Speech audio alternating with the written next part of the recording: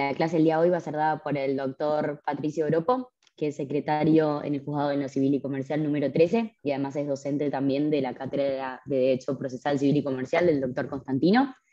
Y en el día de hoy la charla va a ser relativa al procedimiento probatorio en los procesos de daños y perjuicios derivados de accidentes de tránsito. Eh, como siempre, están todos invitados a prender la cámara y vamos a mantenerlos silenciados durante la exposición. Eh, y bueno, al igual que en las clases anteriores que ya hemos tenido, alrededor de las 19 horas vamos a estar enviando el link para que puedan confirmar la asistencia eh, en el día de hoy. Y bueno, esperemos que, la disfruten. Bueno, ¿qué tal? ¿Cómo les va a todos y a todas? Buenas tardes. Como bien dijo Mica, mi nombre es Patricio Oropo. Soy docente de procesal en la Universidad Nacional de Mar del Plata hace ya unos cuantos años. De hecho, ahora mientras empiezo a hablar estoy viendo algunas caras conocidas, lo veo ahí a Gastón ahí abajo con remera roja, que fue alumno hace unos cuantos cuatrimestres. Eh, es lindo siempre ver caras conocidas, reencontrarse con viejos alumnos y con, con colegas nuevos. Como bien les decía Mica, eh, esta tercera clase del curso de procesal civil, lo relativo a procesal civil, va a versar esencialmente sobre prueba. Bien, yo les digo, les anticipo antes, no soy muy fanático de dar clases por Zoom. ¿Por qué? Porque a mí me gusta bastante interactuar con eh, los estudiantes, con los alumnos, y el Zoom, entre que tiene la cámara apagada y encima que voy a utilizar PowerPoint, me impide verle los rostros, y entonces no puedo saber si la, clase me está saliendo mal o muy mal. Bien no me sale nunca, pero mi estándar es saber si me está saliendo mal o muy mal. Ya bien no, porque ya he dado tantas y nunca salen bien, Roberto se me ríe, así que mi Micaela también se me ríe y asiente encima peor todavía, porque está sintiendo con la cabeza, diciendo, sí, es un desastre. Pero bueno, de manera que no soy muy fanático de dar clases por esta modalidad, pero sí entiendo, y por eso valoro que eh, nuestra casa de estudios lo haga, esto permite que gente que eh, está por fuera de Mar del Plata se pueda capacitar. Permite lo que se llama localización geográfica. Por ende, sin perjuicio de que a mí no me gusta mucho, entiendo que es algo muy beneficioso para continuar con capacitaciones, que comenzó quizás con gran intensidad en la pandemia y gracias a Dios se sigue manteniendo ahora y creo que va a mantenerse en el tiempo. Es algo que llegó para quedarse.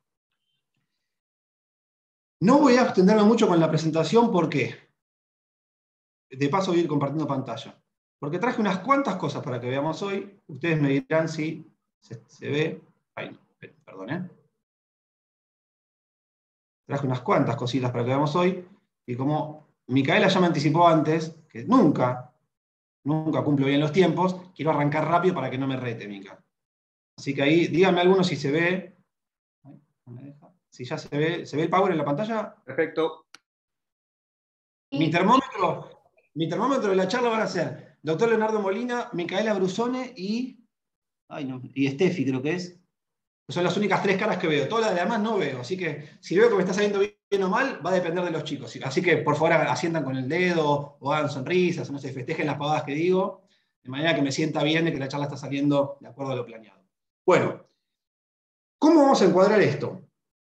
Cuando Leo me comentó de la idea de hacer un taller de procesal civil, buscamos un tema que, además de ser convocante, fuera bastante abarcativo.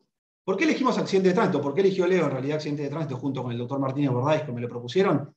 Esencialmente por la parte indemnizatoria, porque los daños y perjuicios derivados de accidente de tránsito comprenden una gran cantidad de rubros, muchos de los cuales se repiten en otro tipo de procesos. De manera que nos pareció un buen caso testigo para dar un taller de procesal civil.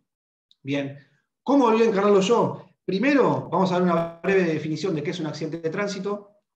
Después, qué es la prueba, para qué sirve la prueba, muy rápidamente, fuentes y medios de prueba. Y después ya sí, abocarnos, adentrarnos bien en la prueba relativa a los daños y perjuicios derivados de un accidente de tránsito. Bien, esa es la manera en la cual decidí estructurar la charla y espero que les guste porque no preparé un plan B. Así que, como no les veo las caras, estoy pensando que están todos haciendo así, como leo se tapa la boca para no reírse, pero está, haciendo, está sintiendo con la cabeza. Entonces, bien, dando comienzo. ¿Qué es un accidente de tránsito? Bueno, nuestra provincia de Buenos Aires, me dijo el doctor Molina que hay gente de, de varias provincias, yo armé la charla pensando en provincia de Buenos Aires, no obstante lo cual, como la provincia de Buenos Aires, a partir del año 2009, dejó de lado la ley 11.430, que era la ley de tránsito que regulaba en la provincia de Buenos Aires, a partir de la ley 13.927, del 1 de enero del 2009, pasamos a adherir a la Ley Nacional de Tránsito, que es la 24449. De manera que todos los daños y perjuicios derivados de accidentes de tránsito que se inicien dentro de la provincia de Buenos Aires, se tiene que aplicar la normativa nacional, la ley 24449. ¿Qué es lo que dice? ¿Cómo define la ley de tránsito nacional al accidente de tránsito? Lo considera como todo hecho, todo hecho que produzca daños en personas o cosas como consecuencia de la circulación vehicular. Eh, ya les anticipo que esa es la foto que encontré, pero las indemnizaciones se cobran en pesos argentinos, no en euros. Estaría bárbaro cobrar en moneda extranjera, pero no, por ahora no se puede en, daño, en materia extracontractual. Por otra parte, ¿qué es la prueba y para qué sirve? La prueba es la actividad que despliegan tanto partes como juez, sí, como juez, el juez puede producir actividad probatoria, vamos a ver con qué limitación, pero puede producir actividad probatoria, con el objeto de producirle justamente a este último, es decir, al magistrado, una certeza acerca del acaecimiento de un evento dañoso, es decir, del siniestro.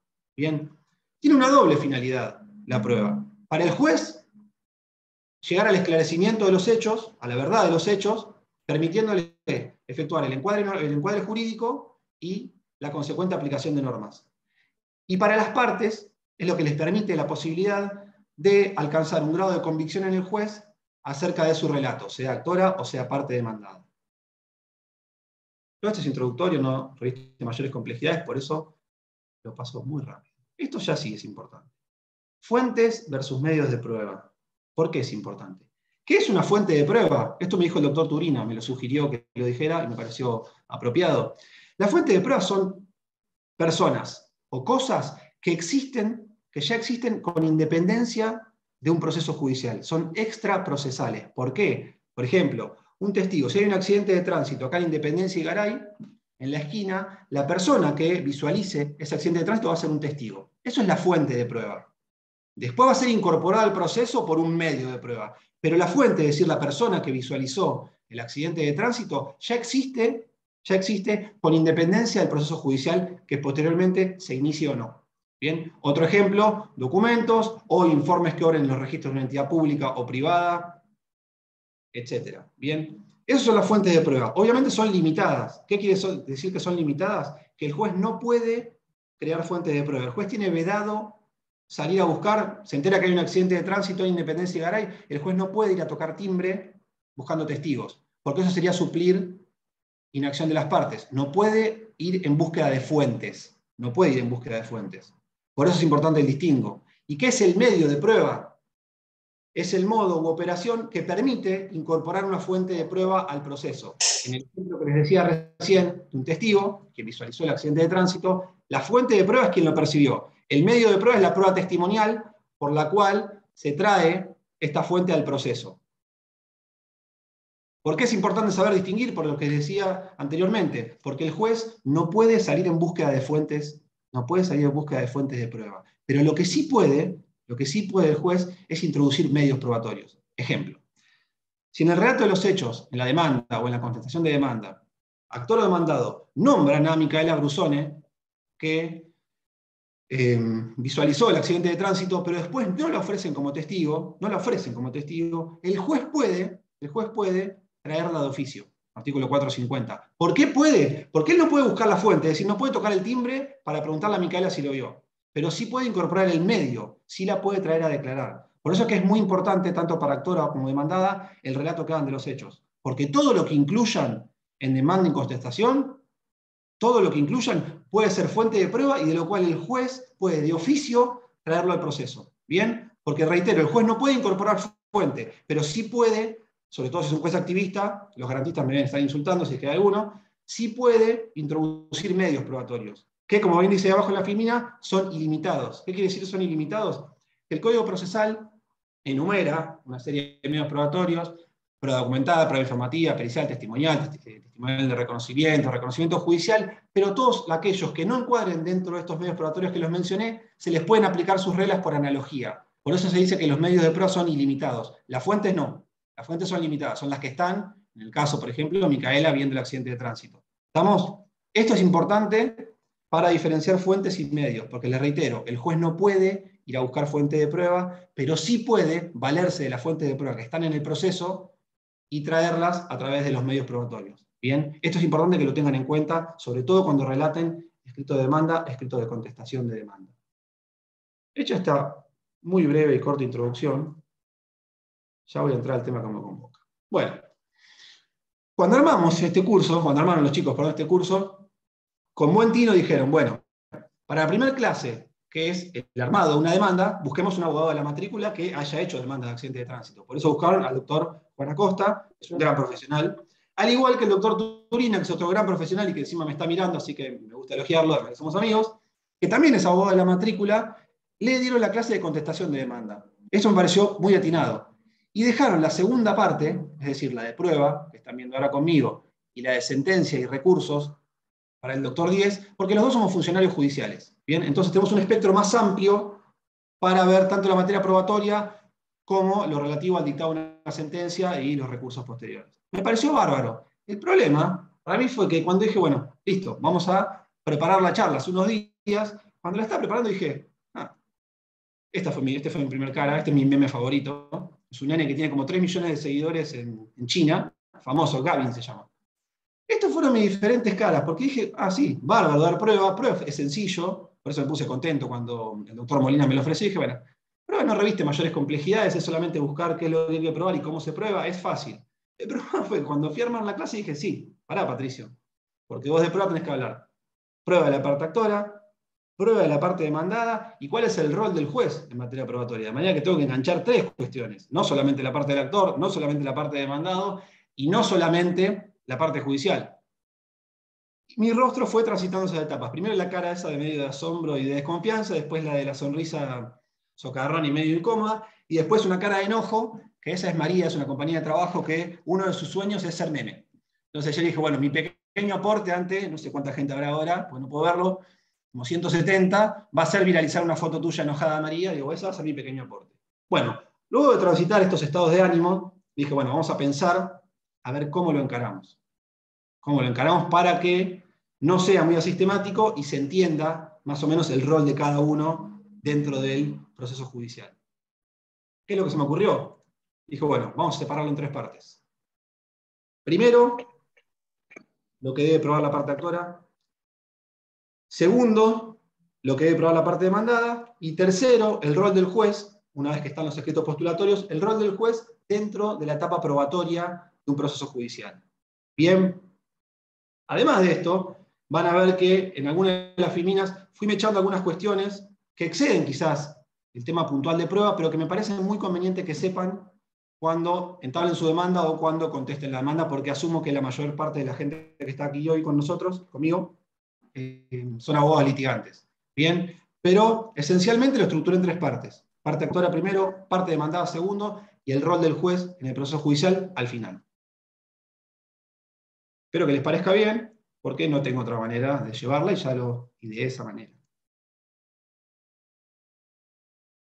Primera parte, el pobre muchacho que sufrió el accidente de tránsito, que no logró que el, quien lo colisionó le pague voluntariamente, que también transitó la etapa de mediación prejudicial, sobre la cual no voy a entrar, porque en teoría ya estamos en la parte de prueba en el proceso judicial, así que no me voy a abocar, que se vio obligado a interponer una demanda y que ya está transitando la etapa judicial. Entonces, primera de las partes de hoy, la estructura de la charla de hoy, parte actora. ¿Qué es lo que debe probar la parte actora? Antes, antes de interponer su demanda, esto ya lo deben haber visto eh, con Juan en la primera clase, por eso lo paso rápidamente. Los primeros dos puntos en realidad no son prueba, sino son más bien diligencias preliminares para lograr una correcta integración de la litis. ¿Pero por qué lo nombro? Porque la clase de Juan, la verdad, y la de Carlos no las pude ver porque estaba ocupado lamentablemente en las dos y todavía no pude ver los videos, que, pero doy por sentado que fueron grandes clases porque los conozco hace muchos años a los dos y los he tenido de profesor por suerte. Pero por las dudas me pareció traer, bueno traer a colación un par de cuestiones. ¿Qué es lo primero que tienen que hacer cuando vayan a interponer una demanda de accidente de tránsito? Primero, verificar bien, verificar bien los datos de las personas que vayan a demandar. Puse 323 que son diligencias preliminares para una correcta integración de la litis. Ustedes saben que el artículo 65 de la ley de tránsito establece como obligación, cuando hay un accidente, el tema de cruzarse los datos, es decir, pasarse los datos personales y los datos del seguro. Bien, un error muy común que se comete eh, confeccionar una demanda es por el accidente de tránsito me chocó el doctor Molina, por el accidente de tránsito lo demando a él y o a quien resulte civilmente responsable por los daños, bla, bla, bla. Esa fórmula, el y o quien resulte civilmente responsable, está mal. ¿Por qué está mal? Artículo 330, inciso segundo del Código Procesal. Hay que individualizar correctamente a los demandados. ¿Se puede individualizar correctamente a los demandados en un accidente de tránsito? Sí, y es obligatorio. ¿Cómo lo hago? Por ejemplo, yo ya sé que el conductor del vehículo fue Leonardo porque me pasó los datos en el momento del siniestro me mostró que, él estaba, el vehículo estaba asegurado a su nombre. Perfecto, yo sé que voy a demandarlo a él y a su compañía de seguros. Pero a su vez, es prudente y es bueno que pidan un informe de titularidad para ver si efectivamente Leonardo es el titular dominial del rodado. Con esos datos, yo ya sé a qué personas voy a demandar. Por ende, la fórmula, el IO, quien resulte civilmente responsable, no aplica. No aplica. Esto normalmente lo corrigen los jueces de oficio en el primer proveído. Antes de correr tras la demanda, les advierten esta circunstancia y lo mandan a corregir, si no, puede ser que sea posible algún tipo de excepción. Por ende, sin perjuicio de no ser estrictamente prueba, porque son diligencias preliminares, tienden a la correcta integración de la litis, averigüen bien los datos de todas las personas que vayan a ser demandadas. Titular dominial, guardián, asegurado, compañía de seguros. Puede ser que alguna de las figuras coincidan, puede ser que el dueño sea la misma persona que contrató el seguro. Bien, con esas premisas interponen la demanda. ¿Qué prueba deben o pueden recabar con anterioridad a la promoción de la demanda? Requerir la denuncia de siniestro como prueba anticipada. ¿Cómo se requiere la denuncia de siniestro de la compañía de seguros de la persona demandada? Lo vamos a ver en una filmina posterior. Pero es bueno tenerla antes de interponer la demanda, porque eso les permite ver el relato de los hechos que hizo la parte demandada. Ustedes más, sin perjuicio de que lo puede variar, obviamente, cuando se notifique el traslado de demanda, puede variarlo, ustedes ya más o menos pueden saber qué fue lo que relató ante su compañía de seguros. De manera que es interesante pedirlo como prueba anticipada. Ya después les voy a decir de qué manera se puede pedir como prueba anticipada la denuncia de siniestro. A su vez, es bueno pedir la filmación de las cámaras de seguridad de la municipalidad, que en esto no me voy a detener porque Sé que Carlos lo explicó la semana pasada porque me lo comentó y lo explicó muy detalladamente, así que no voy a entrar en detalle. Pero sí es muy bueno, actualmente es una gran ventaja contar con las cámaras de seguridad, tanto para la actora como la parte demandada. Pasa que la parte demandada, si el actor no la pidió, puede ser que cuando llegue al proceso ya no esté, porque duran, si mal no recuerdo, duran 30 días las filmaciones y después, si no se pidió, se eliminan.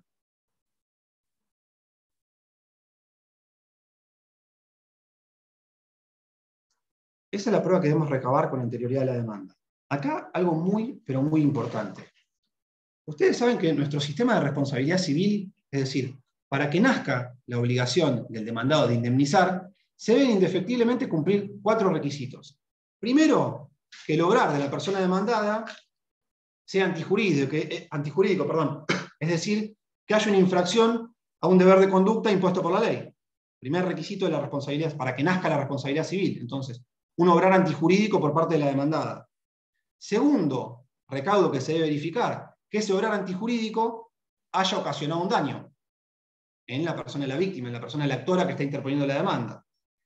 Tercer recaudo, que haya una relación de causalidad entre el obrar antijurídico y el daño ocasionado.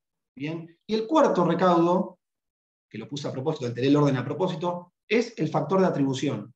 Es decir, que la conducta que se reprocha a la parte demandada se encuadra en un factor de atribución subjetivo u objetivo. Subjetivo es dolo o culpa, objetivo es, por ejemplo, como es este caso, por riesgo o vicio de las cosas. Bien, ¿por qué traigo a colación estos cuatro recaudos de la responsabilidad civil? Primero, porque si falta alguno de los cuatro, no existe obligación de indemnizar.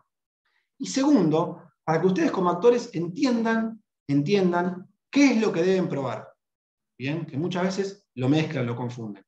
¿Qué es lo que debe probar la parte actora? Artículo 375, la carga de la prueba de la parte actora. Artículo 375 del Código Procesal, artículos 1757 y 1769, que es el que habla de la responsabilidad objetiva por riesgo o vicio de las cosas. Dos cuestiones. Dos cuestiones. La primera, la primera, el acaecimiento del siniestro, es decir, que hubo un accidente de tránsito y que en ese accidente participó el demandado y participó mi, mi rodado.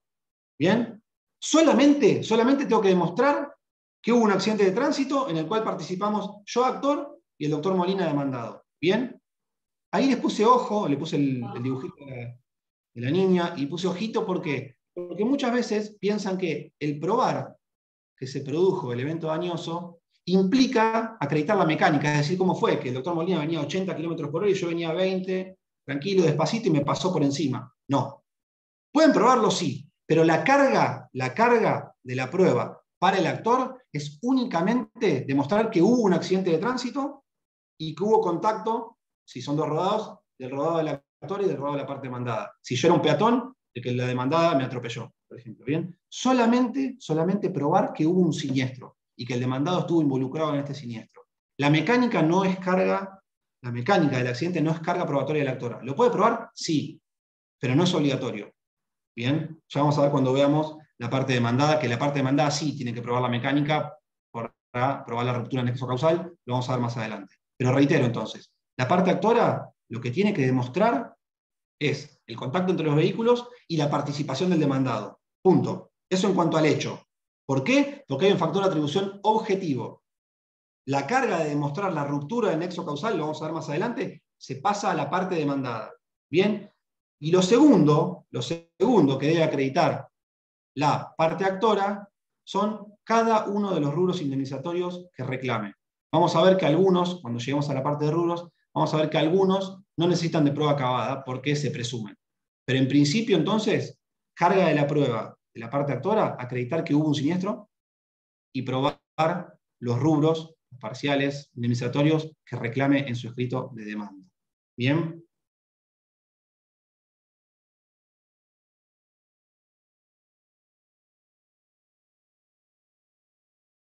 ¿Cómo pruebo?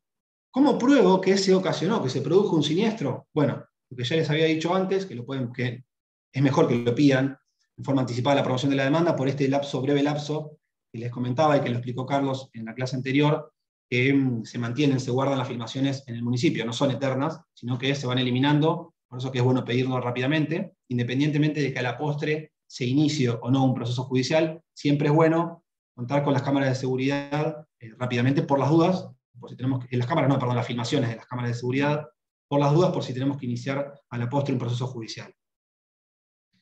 ¿Cómo pruebo también que se produjo un siniestro? Con testigos presenciales. Una postilla en torno a los testigos del accidente.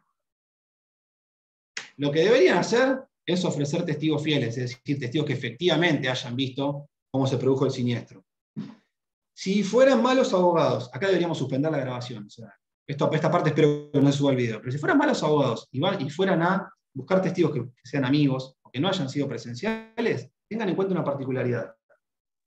Traten de que esos testigos vivan, esto es un consejo profesional que no lo utilicen, ¿eh? reitero, pero traten de que los testigos vivan cerca de donde se produjo el siniestro, porque si no después la idoneidad va a ser analizada por el juez. Por ejemplo, si es un accidente de tránsito que se motivó en Parque Luro, un miércoles a las 10 de la mañana, y usted se ofrece un testigo que trabaja en tribunales, es decir, que en ese horario debería estar trabajando, y que a su vez vive en el puerto de Mar del Plata, que para los que no son de Mar del Plata es la otra punta de la ciudad, la idoneidad de ese testigo va a ser bastante cuestionable. Bien, puede ser que haya sido presencial, sí, sin duda, pero el juez lo va a mirar y lo va a tomar entre pinzas. Bien, entonces, testigos presenciales del accidente, obviamente tienen que ofrecer testigos que efectivamente hayan visto el siniestro.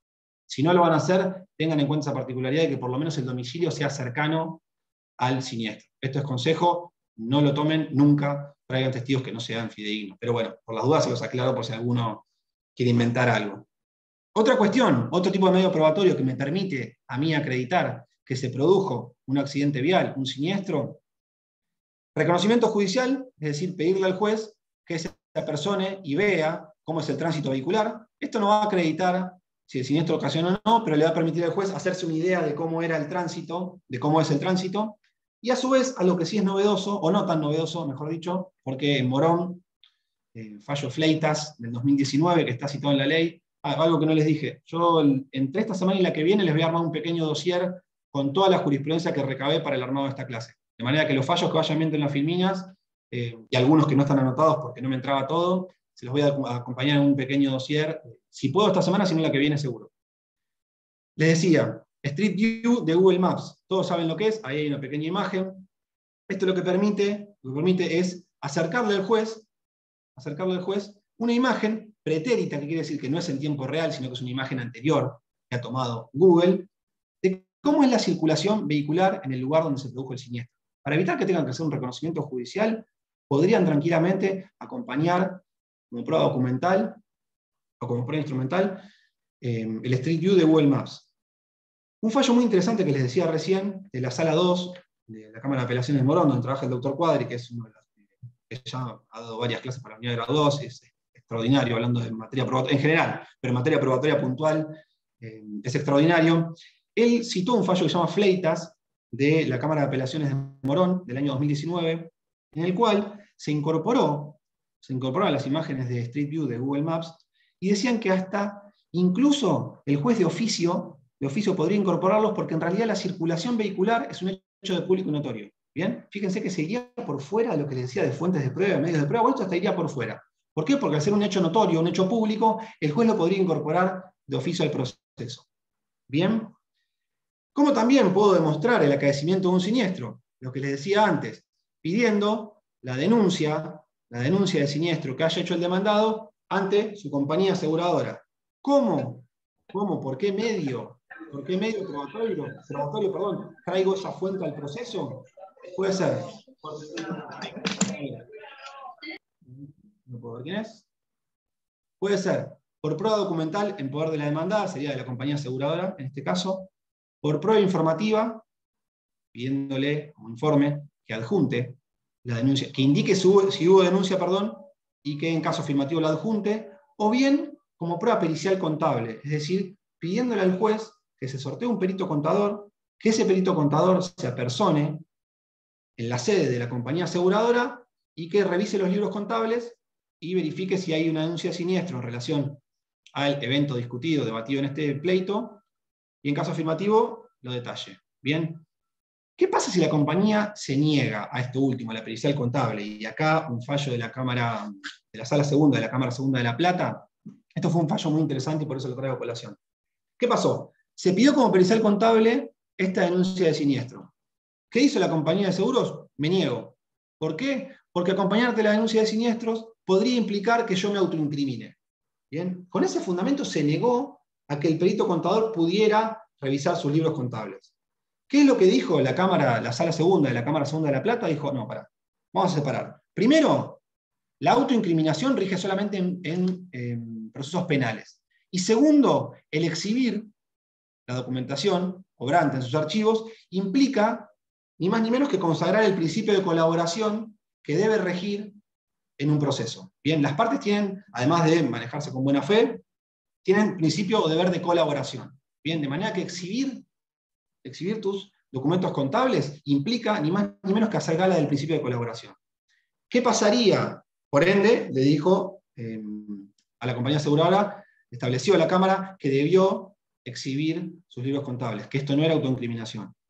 ¿Qué pasaría si yo la pido como documental y se niega? Bueno, aquí entraría a jugar el artículo 386, el Código Procesal, que es el que establece que si una de las partes pide como prueba documental en poder de la contraria un documento determinado, entre ellos, por ejemplo, una denuncia de siniestro, y la parte se rehúsa, se rehúsa o niega su existencia, si con posterioridad, por los elementos de la causa, existe una verosimilitud en torno a su existencia, esa negativa será tomada como una presunción en contra del renuente, es decir, en, este caso en contra de la compañía aseguradora. Bien, entonces reitero, ¿Cómo?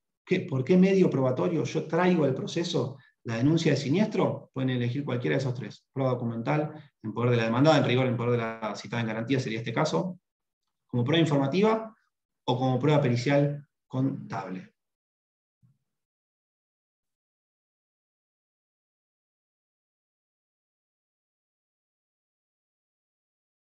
Otros elementos para probar el acaecimiento del siniestro. Prueba pericial mecánica. ¿Qué deberían preguntar dentro de los puntos de pericia al perito? Que diga, de acuerdo a, las frenadas que se ven en la calle, o al velocímetro si es que existe causa penal, o a la circulación para ver la prioridad de paso, que indique cómo o si existió probable siniestro. Bien, recuerden igual que la mecánica puntualmente, es decir, si conducía a velocidad, si pasó un semáforo en rojo, etc. Eso en rigor no es carga de la parte actora. La parte actora lo único que tiene que demostrar es que el siniestro se produjo y que intervino el rodado guiado por la parte demandada. Bien, Todo lo relativo a la mecánica, si lo quieren probar, mejor. Pero no es carga, no es obligación acreditarlo. Eso va a ser obligación de la parte demandada. Bien, esto que, le quede, que les quede, perdón, bien, bien en claro. Causa penal. Acá yo sé que los chicos también en clases anteriores hicieron referencia eh, a la causa penal. No sé bien qué es lo que dijeron, pero sí los dos me comentaron que iban a hacer alguna referencia. Sí me interesa puntualizar un par de cosas. En torno al valor probatorio de la causa en sede penal, de la causa penal, perdón, en sede civil.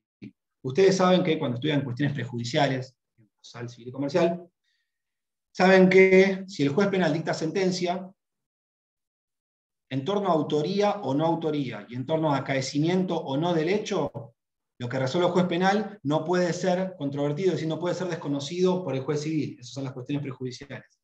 Ahora bien, si ustedes, si ustedes quisieran utilizar, quisieran utilizar algún medio probatorio que fue producido en sede penal, por ejemplo, la declaración de un testigo, por ejemplo, alguna prueba pericial accidentológica, si quisieran utilizar uno de esos medios probatorios, tienen que tomar en cuenta una cuestión. Si la parte demandada y la compañía de seguros intervinieron, es decir, participaron de la causa penal y pudieron controlar la prueba, no hay problema, va a tener valor probatorio en sede civil. Ahora bien, ¿qué es lo que suele suceder? Si la parte demandada o la compañía de seguros no intervinieron en la causa penal, no intervinieron, Ojo con eso. ¿Por qué? Porque esas pruebas producidas en sede penal tienen valor de presunción en sede civil. ¿Por qué valor de presunción? Porque si no se estaría violando el derecho de defensa en juicio. Yo, demandado, no controlé la prueba. Bien. Entonces no tiene el mismo valor probatorio que si se produjera con contradicción, es decir, garantizando la bilateralidad. Tengan en cuenta eso. Cuando vayan a acompañar una causa penal, el valor probatorio en sede civil va a diferir, si quieren ofrecer alguna de las pruebas producidas ahí, va a diferir en torno a la participación o no de la parte contraria en el proceso penal. Si participó, no hay ningún problema, va a tener valor probatorio en sede civil. Si no participó, va a ser una presunción. ¿Bien? Va a ser una presunción. Y un supuesto particular, yo les, decía hoy que cuando fui armando la clase me fui yendo para los costados, por eso estoy yendo rápido porque creo que voy bien de tiempo, no me quiero olvidar de nada. Sí me gusta tirar supuestos particulares porque son los que se suelen dar en la práctica. Es lo que se llama probation, o también suspensión de juicio a prueba en sede penal, que no voy a dar la definición porque apenas sé algo de procesal civil, no me voy a poner a hablar de derecho penal. Pero ustedes saben que muchas veces los procesos penales no llegan a sentencia, sino que se suspende el juicio a prueba y el imputado ofrece algún tipo de resarcimiento, por ejemplo, trabajos comunitarios. Bien, lo que se encuentra muy, pero muy discutido, es el valor probatorio que tiene esa probation, esa suspensión de juicio a prueba, que se dictó en sede penal, el valor probatorio en sede civil. Y acá les puse a propósito dos fallos los cuales la mitad de la doctrina y la jurisprudencia opina de una manera y la mitad de la doctrina y la jurisprudencia opinan de la otra. Primer fallo, de sala segunda de la Cámara de acá de Mar del Plata, Stefani, que a su vez es la postura que sigue eh, la doctora Elena Hayton. Acá dicen que, como en sede penal, cuando se decidió la suspensión del juicio a prueba, no hubo ni confesión, no hay confesión, ni reconocimiento de los hechos por parte del imputado, no se puede extender su valor probatorio a sede civil. Bien, esa es la primera de las posturas que existe en torno a la probation. Es decir, no se puede extender su valor probatorio a sede civil. ¿Por qué? Porque no hubo confesión, no hubo reconocimiento de la responsabilidad civil. Bien, hubo una suspensión de juicio a prueba, ofreciendo yo imputado algún tipo de indemnización, de resarcimiento. Como contrapartida, existe parte de la doctrina, por ejemplo, la seguida por el doctor Pie de Casas, y parte de la jurisprudencia, por ejemplo, la sala primera de la Cámara de Quilmes, que dicen, no, para, para, para. Para que haya una suspensión de juicio a prueba y el juez decida dictar una probation, indefectiblemente tiene que tener el hecho por corroborado perdón, y al demandado, quien sería aquí demandado en la causa penal imputado como autor. Bien, sin perjuicio que no hubo una sentencia, para que yo dicte una probation como juez penal, tiene que, haber, tiene que estar demostrado que estuvo el hecho y que el, autor, que el imputado participó de él.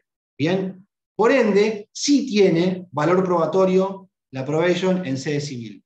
¿Por qué les traigo colación? Para que vean, porque si les toca el día de mañana iniciar una demanda por accidente de tránsito, que en el cual hubo lesiones o muerte, por ende se eh, formó una causa penal, ustedes tienen que tener en cuenta que si esa causa penal finaliza por suspensión de juicio a prueba, es decir, porque existe una probation, puede ser que el juez civil la valore o no. Primer supuesto que les dije, no la valoran porque en rigor no hubo una confesión ni un reconocimiento por parte del imputado de su responsabilidad civil, seguida por Hayton, por la sala segunda de la Cámara aquí de Mar del Plata. Postura contraria, seguida por pie de casa, entre otros doctrinarios, y por la sala primera de la Cámara de Quilmes, en las cuales dice, no, no, pará. Es cierto que no hubo una condena en sede penal, no una confesión expresa, pero también no se puede dejar de lado que acá, evidentemente, fue el autor, evidentemente el hecho existió. Por ende, trasladan el valor probatorio esos efectos a el proceso civil. Bien, se los puse como supuesto particular porque va a variar de acuerdo al criterio que adopte el juez que juzgue el proceso judicial que les toque. ¿Qué otra forma tengo yo de acreditar que acaeció un siniestro? Algo que está muy de moda y que creo que también el doctor Turina lo nombró, me parece, en la clase pasada, porque también lo charlamos. Comunicaciones electrónicas, ya sea por mail, correo electrónico, o por WhatsApp, Telegram o algún otro servicio de mensajería instantánea, en el cual el demandado, por ejemplo, reconozca, sí, Patricio, disculpame, la verdad que venía con un poquito de alcohol de más en sangre y te atropellé, la responsabilidad mía, y además pasé el semáforo en, rojo, etc. ¿Cómo incorporaría, yo parte actora, cómo incorporaría estas charlas por WhatsApp, por Telegram, por algún otro servicio de mensajería instantánea o por correo electrónico? Acá, ojo, les puse todas las variantes y cuáles, a mi entender, y al entender de la mayoría de los entendidos sobre el tema, es la correcta. Primero, documental simple. La impresión de los correos electrónicos, WhatsApp, por ejemplo, tiene una opción que se llama exportar chat, en los cuales comprime el chat y se puede enviar y se puede imprimir, se acompañan. Ahora bien, ¿qué pasa con esta pro documental? Esto es lo que se llama instrumento privado no firmado, instrumento particular, mejor dicho, no firmado. ¿Por qué? Porque el Código, Civil y Comercial, ustedes, si algunos, en unos cuantos años en la profesión, el Código de Vélez distinguía entre instrumentos públicos e instrumentos privados. El Código Civil y Comercial nombra los instrumentos públicos, pero los privados los, los divide en dos entre privados y particulares no firmados. ¿Dónde encuadrarían los correos electrónicos, los mensajes de WhatsApp, los mensajes de Telegram? En esta última clasificación, es decir, instrumentos particulares no firmados, sin perjuicio de que tienen una suerte de firma electrónica, pero bueno, es un instrumento particular no firmado. Ojo, ¿por qué? Porque tiene poca validez probatoria, es como si fuera una copia simple. Por ende, lo que se suele hacer es alguna de las alternativas que están ahí debajo y que se fijan, está resaltada la última porque a mi entender y al entender la mayoría es la correcta. ¿Qué es lo que tienen que hacer ustedes? Acompañar esta captura de pantalla o esta impresión de los correos electrónicos. Algunos lo que hacen es adjuntarlo a un acta notarial en la cual el escribano dé cuenta de que en el teléfono de Patricio estaba esta conversación. ¿Por qué yo no lo haría? Porque el escribano da fe de que vio esa conversación pero no puede dar fe, porque obviamente escapa a su conocimiento, de si hubo algún tipo de adulteración en la charla, si yo borré los mensajes que me, convenían. Bien, por ende, no utilicen la vía de acompañar estos documentos simples conjunto con un acta notarial. Lamentablemente eso se ve bastante en la práctica. Lo que no toma en cuenta la gente es que el escribano no puede garantizar que no haya sido adulterada la conversación. Bien, por ende no es un buen medio probatorio. Prueba testimonial peor aún que de acta notarial. ¿Por qué? Traigo a mi amigo, a Leonardo, que estaba al lado mío cuando me llegaron los mensajes de Carlos, reconociendo que me chocó. Esa prueba testimonial no acredita tampoco si la conversación estuvo adulterada. Como prueba informativa, ¿cómo lo introducirían como prueba informativa? Librando oficios a las compañías de teléfono para que digan quién es el titular de la dirección de email, como si fuera el IP de las computadoras, los teléfonos tienen email, puede identificar de dónde salían los mensajes. Lo que no puede identificar por prueba informativa es lo mismo que les decía recién. Si hubo algún tipo de adulteración, si se borraron, si se editaron esas conversaciones. Por ende, lo que tienen que hacer, si quieren acompañar correos electrónicos o mensajes de algún servicio de mensajería instantánea, es adjuntar la prueba documental, que les decía, estos instrumentos privados no firmados, las capturas de pantalla, los correos impresos, pero a su vez ofrecer como prueba directa no en subsidio, ¿eh? como prueba directa, la prueba pericial informática. Bien, ¿por qué? Porque el perito informático va a ser el que va a poder demostrar que los mensajes salieron del teléfono X y que no hubo ningún tipo de adulteración en esa conversación. ¿Por qué les digo que no es un subsidio? Porque otro error común es, yo ofrezco, ofrezco la prueba documental. Si me la desconocen en subsidio, ofrezco pericial informática. No, porque aunque no haya desconocimiento, el valor probatorio de un instrumento privado no firmado es muy débil. No es como una prueba documental como un instrumento público, como una prueba documental común, como estamos acostumbrados. De manera que siempre tienen que complementar estos dos medios probatorios. Acompaño a prueba documental, captura de pantalla, reitero, correos electrónicos, y a su vez también ofrezco pericial informática. De manera que esta prueba complementaria les permite tener por corroborada esta conversación en la cual eh, el demandado, por ejemplo, reconoció el acaecimiento del siniestro.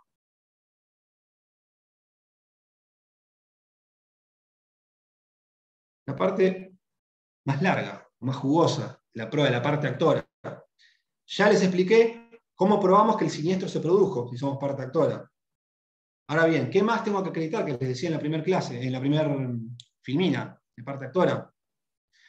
Cada uno de los rubros indemnizatorios. Creo que no me olvidé de ninguno. Y si me olvidé de alguno es porque seguramente esté subsumido en otro.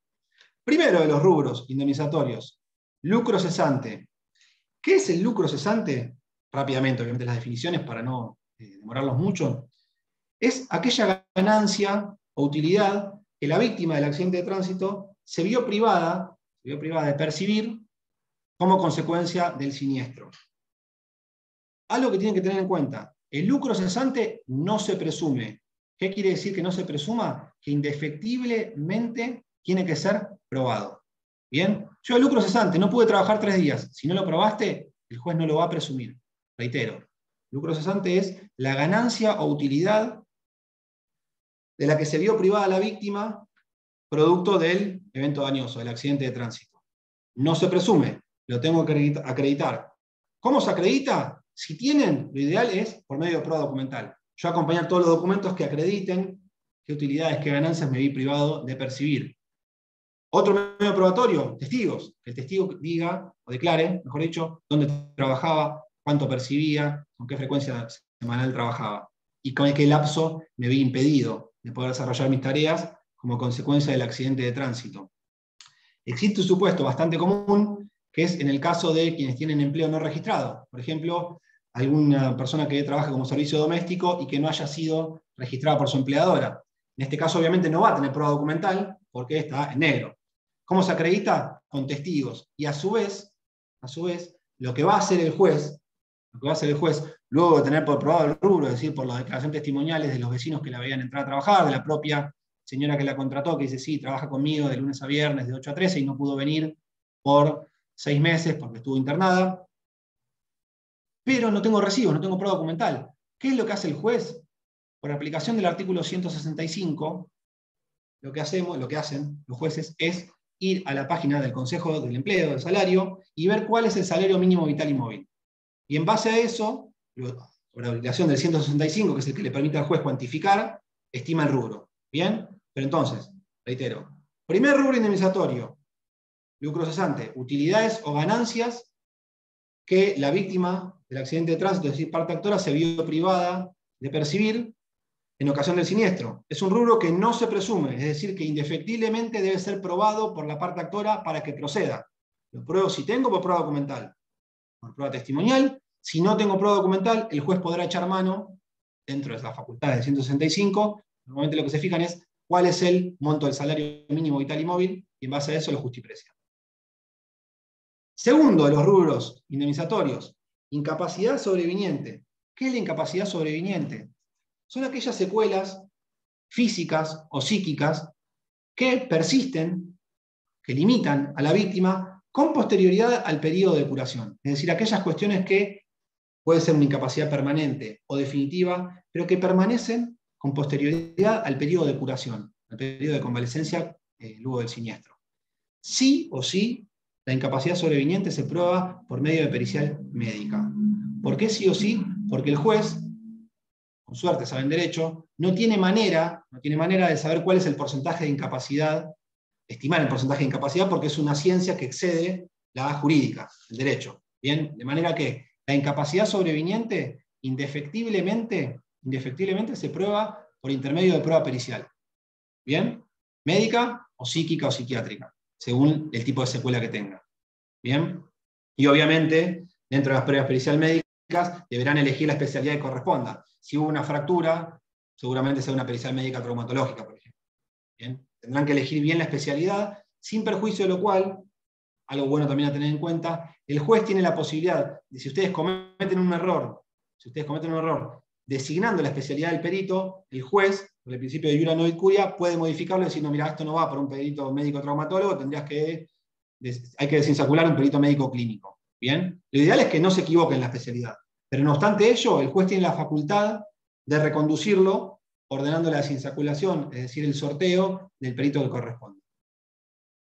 Recapitulando, incapacidad sobreviniente, entonces las secuelas, las limitaciones que quedan con posterioridad al periodo de curación. Sí o sí se deben acreditar por medio de prueba pericial, médica, psiquiátrica, psicológica. Tercero de los rubros, gastos médicos, gastos de farmacia, gastos de traslado. Este rubro, este rubro se fue modificando. ¿Por qué? Porque con anterioridad al 1 de agosto del 2015, es decir, con anterioridad a la sanción del Código Civil y Comercial, estos gastos configuraban lo que era una presunción llamada jurisprudencial. ¿Por qué una presunción jurisprudencial? Porque los jueces, de forma prácticamente unánime, entendían que si hubo un daño físico ocasionado por un accidente de tránsito, indefectiblemente, por más que uno cuente con obra social, algún gasto de ibuprofeno o de una curita, gasto médico, de farmacia, un estudio, una radiografía o de traslado para poder ir hasta el nosocomio, por ejemplo, indefectiblemente, por más que uno cuente con obra social, alguna erogación va a tener que hacer. De manera que esto era una presunción jurisprudencial. Al ser una presunción jurisprudencial, estábamos exentos en principio de probar este error indemnizatorio. Reitero, a diferencia de los dos que vimos antes, que no se presumen, es decir, que sí o sí la parte actora debe probarlos, los gastos médicos de farmacia y de traslado se presumen si hubo daño. Si se prueba el daño, se presume que esos gastos existieron, aún cuando cuenten con obra social. ¿Bien? Esta presunción, yo les decía, con anterioridad el 1 de agosto del 2015, era jurisprudencial. ¿Bien? A partir del 1 de agosto del 2015, es una presunción de tipo legal artículo 1746 del Código Civil y Comercial. ¿Qué es lo que dijo el legislador? Mira, si probás que hubo daño, ya se presume. ¿Bien? Ahora, ojo, ojo. Esta presunción es siempre y cuando las sumas que reclamen sean razonables. Si ustedes, por un accidente de tránsito en el cual me tuvieron que poner dos puntos en el pómulo, reclaman 400 mil pesos por gastos farmacéuticos, en ese caso, como escapa a la razonabilidad del rubro, tendrán que acreditarlo. ¿Cómo lo acreditarán? Con tickets, facturas, acompañando la prescripción de los estudios o de los medicamentos, etc. Entonces, reitero, el tema del rubro, gastos médicos, farmacéuticos y de traslado es una presunción de tipo legal. ¿Qué quiere decir? En principio no es necesario que el actor los pruebe. ¿Por qué digo en principio? Porque si se reclama una suma que excede de la razonable, de la normal para este tipo de erogaciones, ahí sí deberán acreditarlos mayormente con prueba documental. ¿Bien? Cuarto rubro, daño moral. Es muy difícil ensayar una definición de daño moral, muy difícil. ¿Por qué? Porque la mayoría de los doctrinarios dicen que es una alteración del espíritu, algo que exceda el dolor, que trae preocupaciones, que trae un, estado de aguda irritación. Bueno, normalmente en este rubro de daño moral es cuando engloban todos los padecimientos que tuvo la víctima de accidente de tránsito, que no pueden encuadrar en los restantes. Bien. ¿Cómo acredito, cómo parte actora, cómo se acredita el daño moral? Normalmente con pruebas pericial, psicológica o psiquiátrica, que demuestren que producto del siniestro le quedó algún tipo de alteración, una neurosis, algún tipo de psicosis. Bien.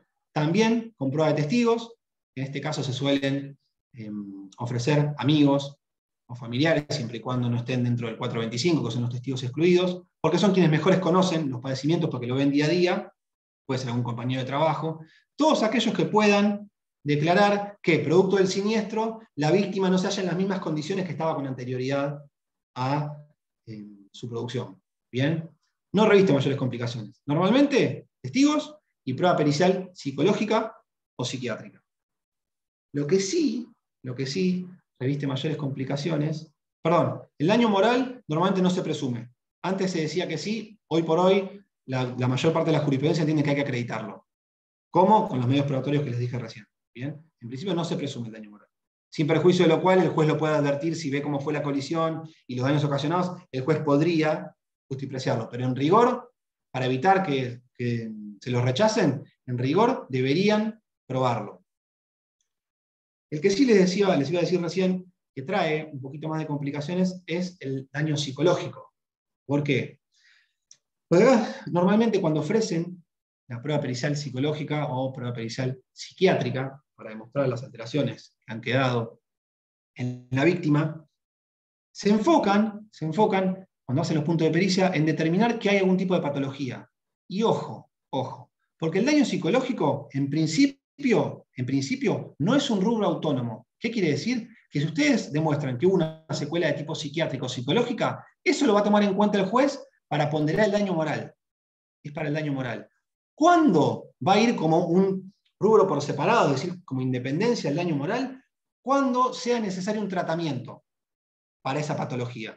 Bien, de manera que si ustedes reclaman o solicitan, mejor dicho, daño psicológico, indefectiblemente, o psiquiátrico, indefectiblemente al perito psicólogo o al perito psiquiatra, dentro de los puntos de pericia, lo tienen que interrogar en torno a si a la víctima es necesario que realice algún tratamiento para esa patología y que indique la frecuencia semanal, semanal perdón, y la duración total de tratamiento. Es decir, que le pregunten al perito qué cantidad de sesiones mensuales, por ejemplo, una por semana, tendrá que realizar la víctima y por qué periodo, por el periodo de dos años. Porque eso, eso es lo que configura el daño psicológico o psiquiátrico como rubro autónomo, la necesidad de un tratamiento. Si ustedes no le preguntan eso al perito, el juez les va a rechazar este rubro y va a tomar en cuenta las pericias para justipreciar el daño moral. Espero que se haya entendido, lo repito rápidamente. Daño psicológico o psiquiátrico, en principio, no son rubros autónomos. ¿Qué quiere decir? Que quedan subsumidos dentro del daño moral. ¿Va a poder ser reclamado en forma independiente cuando haya algún tipo de erogación o de daño patrimonial? ¿Qué quiere decir esto? Cuando se necesite un tratamiento psicológico o psiquiátrico para curarse o mejorarse de esa patología. Por eso es muy importante que en los puntos de pericia interroguen al perito en torno a necesidad de tratamiento, duración y costos. Los costos se establecen por UP, que es la unidad que tiene cada colegio distrital de psicólogos o psiquiatras, en un valor. UP, igualmente el juez se puede apartar. ¿Bien? Pero ojo con eso, ¿eh? Ojo con eso. Pérdida de chance. Creo que estoy bastante bien de tiempo. Pérdida de chance. ¿Qué es la pérdida de chance? La pérdida de chance se entiende que se da cuando, con motivo del siniestro, quedó truncada definitivamente una posibilidad bastante certera mía de obtener un beneficio. Por ejemplo, yo jugaba en Boca, estaba en tercera división, era el goleador, el mejor jugador del equipo, me estaban próximos a hacer un contrato y Micaela Brusone viene un día a las 5 de la mañana, luego de, tomar, de haber tomado unos cuantos tragos, me atropella y con motivo de ese accidente me amputan mi pierna zurda. Yo soy zurdo. No juego bien, pero soy zurdo. Entonces, ¿cómo reclamaría yo como pérdida de chance? Fíjense, señor juez, acá no había una mera probabilidad de que yo llegue a primera. Era bastante certero. ¿Por qué? Porque estaba en la división inmediatamente anterior, la reserva, la tercera, como le quieran decir, y era el mejor jugador del equipo. Bien. Por ende, en este caso yo tendría como una fuerte probabilidad de que yo hubiera obtenido ese beneficio económico, que era que me hagan un contrato como futbolista profesional, no era una mera posibilidad, sino que había una fuerte probabilidad de que yo lo lograra, se puede reclamar como pérdida de chance. ¿Cuándo no podría yo peticionarlo? Si, por ejemplo, este accidente que les comentara pasara ahora, cuando terminara esta clase, como se quedó enojada Micaela porque hablé mucho, siempre hablé mucho, viene a la esquina y cuando salgo me atropella. Y yo reclamo pérdida de chance porque entendía que podía llegar a la primera de boca. Ahí el juez va a decir, para Patricio, por edad, no vas a llegar. Además, ni siquiera jugás al fútbol en un equipo federado. Y encima, por testigo sé que eso es malísimo. Esto ojalá que no lo digan porque me va a afectar anímicamente, por más que sea cierto, pero en este caso la pérdida de chance tendría poca viabilidad. ¿Por qué? Porque no había una probabilidad fuerte de que yo llegara a la primera de boca si no se hubiera producido el siniestro. ¿Bien? La pérdida de chance, ¿cómo se acredita? Pericial médico, obviamente, para que demuestre que, en el caso que les decía en el ejemplo, hay una imposibilidad definitiva de poder practicar este deporte en forma profesional porque me amputaron las dos piernas. Por testigos que indiquen que Patricio efectivamente era un gran jugador de fútbol y jugaba en tercera y el mejor jugador del equipo, pueden citar al cuerpo técnico, a los compañeros, etc. Y a su vez hasta podrían pedir, esto obviamente en cada caso tiene que encuadrar, puse el ejemplo del fútbol porque es el más fácil y el que utilizan la, mayor parte de los autores, pero obviamente lo tendrán que encuadrar de acuerdo a la disciplina que realizará la víctima en forma previa al accidente. También podrían pedir un, informe a Boca para que digan cuánto se pagaba a los jugadores que se les hace su primer contrato profesional. Esto más que nada para que el juez tenga una pauta para mensurarlo. Bien, Pero entonces, volviendo a la pérdida de chance, obviamente no se presume, es decir, la deben acreditar. No tiene que ser una mera posibilidad, sino una gran probabilidad de que yo hubiera obtenido ese beneficio económico si no se hubiera producido el evento dañoso. ¿Cómo lo prueban? Prueba informativa, prueba de testigos, prueba pericial médica, de acuerdo al tipo de trabajo que yo realizara y la expectativa que tuviera, perdón, mejor dicho, y obviamente el caso en concreto y la lesión, en este caso, que era la amputación de las piernas. Bien. Siguiente, rubro indemnizatorio. Daño material. Son los daños, los daños que se producen en el vehículo, en el rodado. Acá yo les puse una interrogación porque leyendo el libro del doctor Cuadri, La prueba en el proceso civil, que se lo recomiendo en dos tomos, es, brillante, analiza los 23 códigos provinciales, es impresionante. Cuando hablaba de daños materiales en automotores, cuando habla, perdón, él dice que en realidad, y como antino, cuando uno tiene un accidente de tránsito, lo mejor es no reparar el vehículo. ¿Por qué mejor no reparar el vehículo? Porque ustedes podrían tienen el accidente, les rompen el tren delantero, las puertas, los vidrios, pueden repararlo y pedir las facturas, los comprobantes de pago y acompañarlos como prueba documental y reclamar los daños materiales. ¿Puede ser? Sí. Pero el problema, el problema con eso es que se los pueden controvertir diciendo, no, pará, acá infló, inflaron los gastos o incluyó gastos que en realidad no se produjeron. Entonces, lo mejor, lo mejor sería no reparar el vehículo. Y si lo quieren reparar, porque necesitan utilizarlo, porque quieren utilizarlo, lo mejor lo que deberían hacer es pedir como prueba anticipada una prueba pericial mecánica para que determine, detalle los daños materiales que tuvo el vehículo. Bien, entonces, daños materiales, ¿qué se reclama? Todos los daños sufridos por el automotor, la rotura de un paragolpe, de un espejo retrovisor, de un vidrio, lo que sea. Preferentemente no habría que arreglar el vehículo, hasta tanto el perito mecánico lo analice. Ahora bien, si ustedes quisieran hacerlo, si quisieran, repararlo para volver, volver a utilizarlos, lo que deberían hacer es pedir como prueba anticipada la prueba pericial mecánica. ¿bien? Y recién ahí repararlo. Obviamente, bueno, se prueba con pericial mecánica, se prueba con prueba documental, se prueba con prueba testimonial de reconocimiento para que el dueño del taller reconozca ese presupuesto, por ejemplo, con prueba informativa lo mismo, si no quieren hacerlo por testimonial de reconocimiento, una prueba informativa al taller Pepito para que indique a cuánto ascienden los gastos de reparación de un rodado, pero esencialmente prueba pericial mecánica, ¿bien? acompañada por prueba documental de la factura de los gastos. Recuerden, lo ideal es no repararlo. Si lo quieren reparar, prueba anticipada pericial mecánica. ¿Bien? Siguiente rubro. Disminución o pérdida de valor venal. ¿Qué es esto? Cuando un automotor sufre daños por un accidente vial, puede ser que estos daños sean daños básicos, por ejemplo, la rotura de un espejo retrovisor o la rotura de un paragolpe, o bien que cambiándolo el auto quede impecable, o bien pueden ser que se produzcan, puede ser, perdón, que se produzcan daños estructurales. Por ejemplo, es una colisión muy fuerte que me rompa el chasis. ¿Cuál es el problema con esto? Que independientemente de que se lo arregle, se lo deje en óptimas condiciones, ese automotor va a tener una pérdida en su valor de reventa. ¿Bien? ¿Por qué? Porque ha perdido valor venal. Ha sufrido un daño estructural que por más que se lo repare de la mejor manera posible, no va a quedar igual que el anterior. Bien, entonces, la pérdida del valor venal es cuando, a pesar de la reparación del vehículo, ese rodado tiene una pérdida en su valor de reventa. ¿Por qué? Por haber sufrido un daño estructural. Sí o sí, cábenselo, la pérdida de valor venal sí o sí se prueba por prueba pericial mecánica. Tienen que ofrecer un perito mecánico y dentro de los puntos de pericia solicitarle que indique en forma expresa si ha habido una disminución, una pérdida en el valor venal. Y va a decir, sí, vale un 10% menos, vale un 20% menos. Si no ofrecen prueba pericial mecánica, el juez indefectiblemente va a desestimar este parcial, este error indemnizatorio. ¿Por qué? Porque escapa a los conocimientos del juez saber cuánto, qué valor de reventa pierde un automotor por sufrir un daño estructural.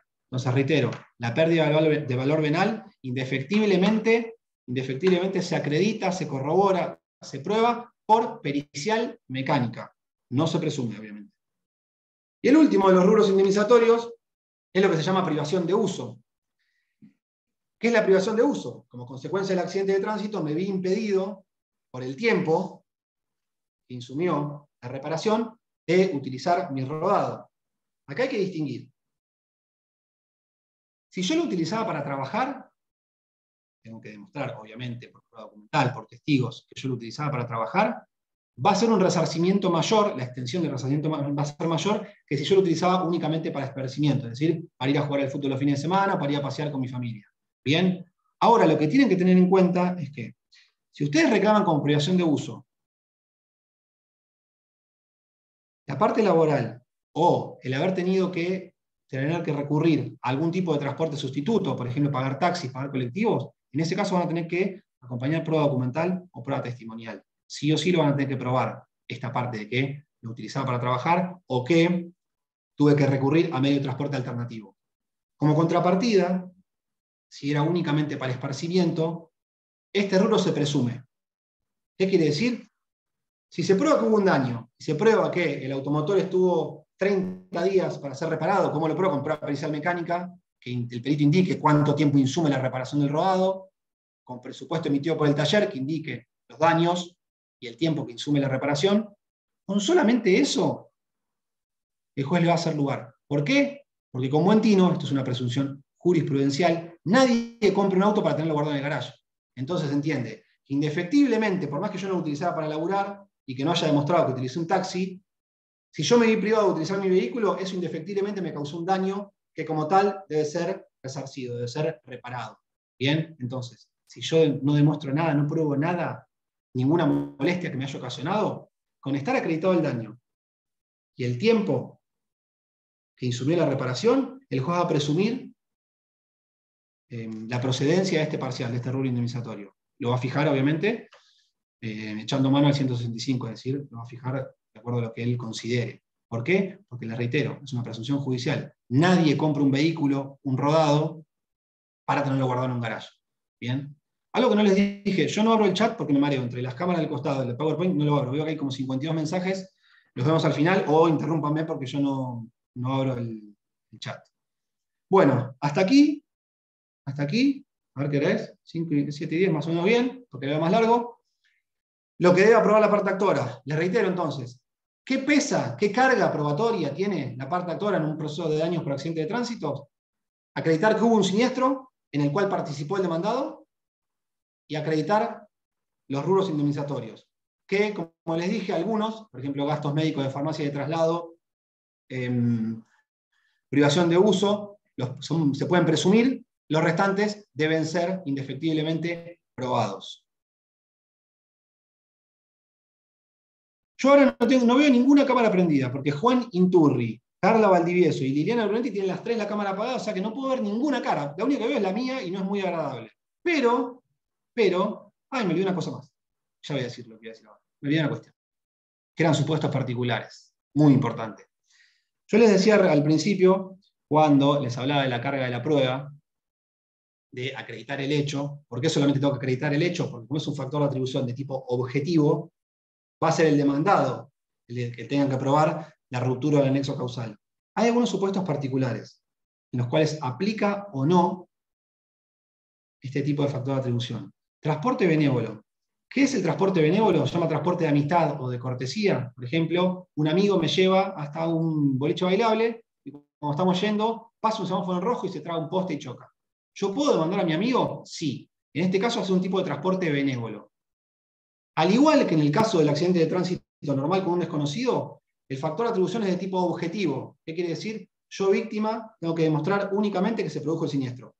La carga de la ruptura del nexo causal pesa sobre el transportista benévolo, es decir, por mi amigo que conducía. Segundo supuesto, empresa de transportes. Yo iba dentro de un colectivo, el chofer frenó rápidamente y me fui para adelante y me lastimé. En este caso, yo lo único que tengo que probar es que se produjo el accidente ¿Cómo lo pruebo? Acompañando el boleto de colectivo y la historia clínica que demuestra que yo produzco este siniestro, tuve que ir al hospital.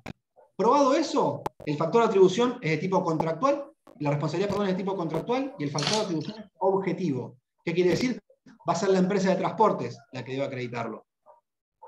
Pero el último supuesto, hasta acá no, no difiere nada de lo que venía diciendo, pero el último supuesto, que sí modifica el factor de atribución, es si yo, además, de demandar a la empresa de colectivos, demando al chofer. Si yo digo, no, este chofer a propósito frenó porque quería que yo me lastime y lo venía haciendo en todas las esquinas, bueno, ojo, porque si demandan al chofer, acá el factor de atribución es de tipo subjetivo. Y el actor va a tener que probar el dolo o la culpa en el accionar del chofer. ¿Bien? Entonces, lo que veníamos hablando, el factor de atribución era objetivo. Un accidente normal en la calle, entre dos vehículos, o en un caso de transporte benévolo, o contra la empresa de transportes, en un caso de un accidente cuando frena rápido y me caigo. Bien, yo lo único que tengo que probar es que el siniestro se produjo. Después, la carga de la prueba se traslada a la parte demandada. Factor de atribución objetivo, él tendrá que acreditar la ruptura del nexo causal. Salvo que yo también demandara al conductor del colectivo. En este caso, la responsabilidad del conductor va a ser un factor de atribución de tipo subjetivo, dolo, culpa, y lo tendrá que probar el actor. Es una postilla para que lo sepan. Porque normalmente incluyen a todos y piensan que todo tiene que probar la parte demandada. Ojo, si se le reprocha a título individual la conducta al conductor del colectivo del taxi, es factor de atribución subjetivo, la carga de la prueba pesa sobre la parte actora. Y otra cuestión, antes de terminar con parte actora, que me pareció prudente, ahí está el doctor Molina tomando un trago, y fíjense cómo terminó, que te tapa un poquito, me parece, las cámaras, Leo. Ojo cuando hagan el relato de los hechos, porque acá nosotros estamos acostumbrados a un sistema muy adversarial. ¿Qué quiere decir? Yo estoy acostumbrado a litigar, quiero ganar y dejarlo en el piso al demandado y si puedo pisarle la cabeza. Tengan mucho cuidado cuando hagan un relato de los hechos e invoquen el tema de culpa grave de la alcoholemia de la parte demandada. ¿Bien? ¿Por qué? Porque ustedes lo que tienen que demostrar es que se produjo el siniestro. No le agreguen IVA, porque eso, si ustedes dicen, sí, venía borracho, lo que, como le quieran decir, venía con una alcoholemia altísima, puede ser que sea una causal de exclusión de cobertura. Entonces, ¿qué quiere decir? Van a ganar el pleito, su cliente va a tener la sentencia, la puede colgar en un cuadro, pero pueden correr el riesgo que la compañía aseguradora invoque una, esta causal de exclusión de cobertura por culpa grave, por alcoholemia del asegurado, y no responda. Y ustedes después no tengan de dónde rascarlo, doctor Molina, para sacarle un peso. De manera que van a tener una sentencia favorable, pero no van a poder cobrar. Y siempre tengan en cuenta dos cosas, ganar y cobrar, no es ganar solo. Entonces, ojo cuando hagan el relato de los hechos. No obstante ello, ahí traje a colación dos fallos muy interesantes en torno a la culpa grave por alcoholemia, uno es de la Corte y otro de la Cámara de Mar del Plata. me, lo, me lo citó el doctor Font, que es un funcionario que trabaja conmigo, que hoy le comenté lo que iba a decir, y me lo, me lo mencionó, me pareció bueno traer la colación. Son dos cuestiones en torno a la culpa, cuando hay culpa grave por alcoholemia. ¿Qué es lo que dice la Corte? Fallo Rocoma. Dice, para, la sola alcoholemia positiva, es decir, 0,5, que ustedes saben que es el, máximo que pueden tener de alcohol en sangre, la sola alcoholemia positiva, es decir, que me dio 0,8, 0,9, no alcanza por sí sola, no alcanza por sí sola a configurar una causal de exclusión de cobertura. ¿Qué quiere decir? No es que la compañía puede venir y decir, bueno, no, eh, el doctor Molina tenía 0,9, entonces no, no cubro. No, ojo, ojo. Lo que tienen que demostrar la compañía aseguradora en este caso es que independientemente del dosaje del alcohol en sangre que tuviera, esa cantidad de alcohol le impedía, le impedía conducir efectivamente con pleno dominio su rodado. ¿Bien? ¿Por qué? Porque la culpa grave linda con el dolo. no es como una simple culpa, sino que es lindante al dolo. De manera que con el solo alcoholemia positiva no es suficiente, dice la Corte. Se tiene que acreditar, se tiene que acreditar que efectivamente, en este caso puntual, ese sujeto al cual le dio alcoholemia positiva no estaba en condiciones de conducir el rodado. Y esto se analiza caso por caso, porque no es lo mismo que yo, que no salgo muy seguido, tome tres vasos de cerveza, probablemente esté medio alterado, que Leo, que sale cuatro veces por semana, se tome tres vasos de cerveza y seguramente esté mejor que yo ahora. Impecable. ¿Bien? Por eso que se analiza en cada caso en concreto. De manera que si ustedes como actores, el día de mañana, les interponen una causal de exclusión de cobertura por la economía positiva, sepan que la compañía, además de acreditar el alcohol positivo en sangre, va a tener que demostrar que efectivamente Leo no podía conducir. Por razones de tiempo, ya veo que no voy a llegar, hay una sentencia que les recomiendo leer, que es del juzgado en civil y comercial número 2 de Azul, Iglesias con Márquez, que la el, Rodrigo el doctor Rodrigo Bionda, yo era secretario en ese momento, que justamente nos amparamos en este fallo de la Corte para rechazar una causal de exclusión de cobertura. Y en este caso el demandado estaba en rebeldía, ni se había presentado. ¿eh? Estaba solamente actor y compañía de seguros. La compañía invocó la causal de exclusión de cobertura y nosotros, echando mano a este fallo, dijimos, no, es verdad, está probado que el demandado tenía colema positivo, pero lo que no probaste, compañía de seguros, es que estaba impedido de conducir, que no le permitía conducir bien subrogado. Y además era un demandado que estaba acostumbrado a tomar alcohol, porque los testigos declaraban que tomaba todos los días, entonces, atenuación. Bien, entonces, primer recaudo que tengan en cuenta cuando agarren un rato de los hechos, ojo con hacer especial énfasis en el tema de la alcoholemia, porque eventualmente puede ser que le dé letra a la compañía de seguros, que es a la postre quien generalmente responde, para que invoque una causal de exclusión de cobertura. Bien, recuerden, es ganar y cobrar. Y el segundo de los supuestos, que también está relacionado, es que, para que tengan en cuenta, es que la causal de exclusión de cobertura por culpa grave motivada por alcoholemia únicamente, únicamente es oponible si el que conducía era el asegurado. ¿Qué quiere decir?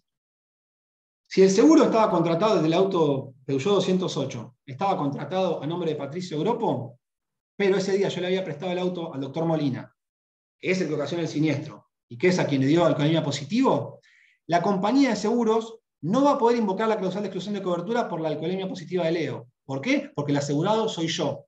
Y la ley de seguros, lo que prevé, artículo 70 y 114, si no me en la memoria, es que la culpa grave es del asegurado, no de terceros que hayan guiado el, automotor. Bien, eso está en el fallo Solís con San Cristóbal, es un cumplimiento de contrato, pero en el cual la compañía eh, entabló una exclusión de cobertura diciendo que conducía el vehículo, que era un tercero distinto al asegurado, eh, estaba con la alcoholemia positiva que le impedía guiar su vehículo. No se pueden extender se pueden extender las causales de exclusión de cobertura a personas ajenas al asegurado.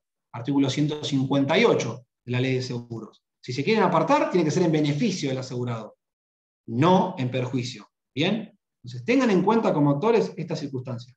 Les reitero, para hacer relato de los hechos y por si eventualmente la compañía les invoca una causal de exclusión de cobertura por culpa grave por alcoholemia, que traje a colación porque es un supuesto muy común, además de porque quería subir la foto de mi amigo y molestarlo en clase, lamentablemente no le estoy viendo la cara ahora, son cuestiones importantes y a tener en cuenta. Ahora sí, creo, creo que terminé parte actora.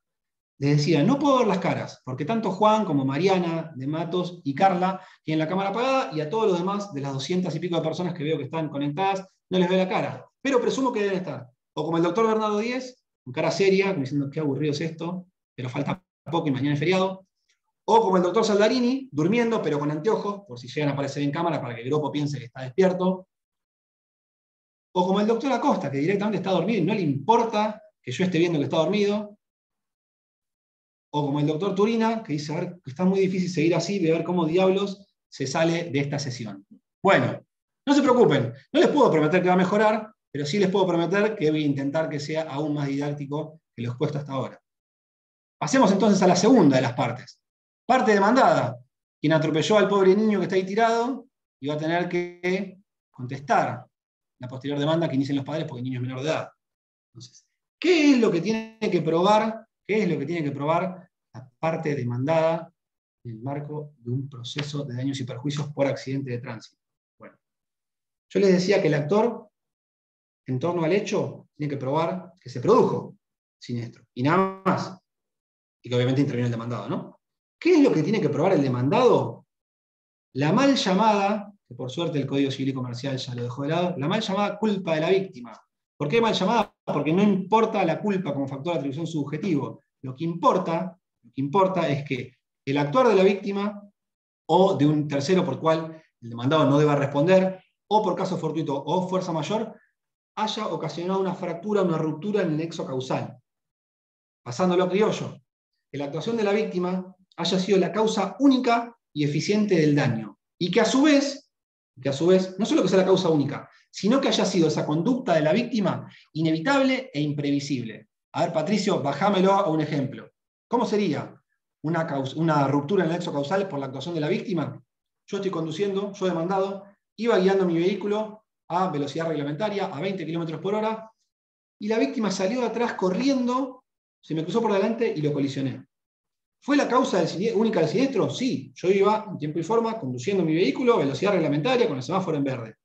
¿Fue inevitable e imprevisible? Sí, yo no pude con mi visión de 180 grados advertir este obstáculo que era la víctima, quien apareció de imprevisto. ¿Bien?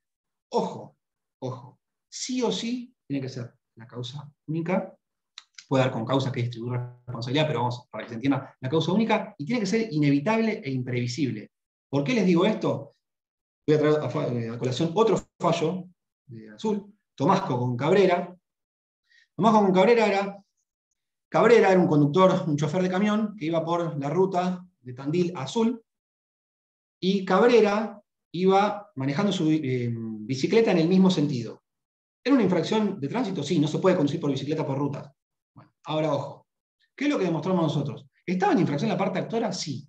Pero no fue inevitable el siniestro, porque vos la viste en un día de plena luminosidad, vos la viste, y como vos ibas exceso de velocidad, vos tendrías que haberte representado, te la podías llevar puesta y evitar el siniestro. ¿Bien? No fue, no fue, por más que es un obrar indudablemente reprochable a la víctima, conducir su bicicleta por una ruta, no fue imprevisible, no fue inevitable. Entonces, ojo, tienen que probar la ruptura del nexo causal, no importa la culpa, sino que la actuación de la víctima haya sido idónea, o de un tercero, o casa fortuita de fuerza mayor, haya sido idónea para producir el siniestro y que haya sido inevitable e imprevisible.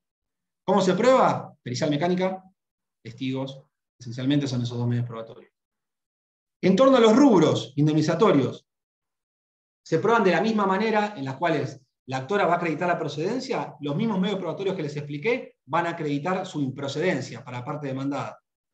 No requiere de mayores explicaciones pautas. Lo que sí tienen que tener en cuenta es que puede ser que tengan consecuencia para la ponderación de los rubros si la víctima, por ejemplo, estaba sin cinturón de seguridad, eso no va a ser eficiente para no tener por configurar la responsabilidad demandada.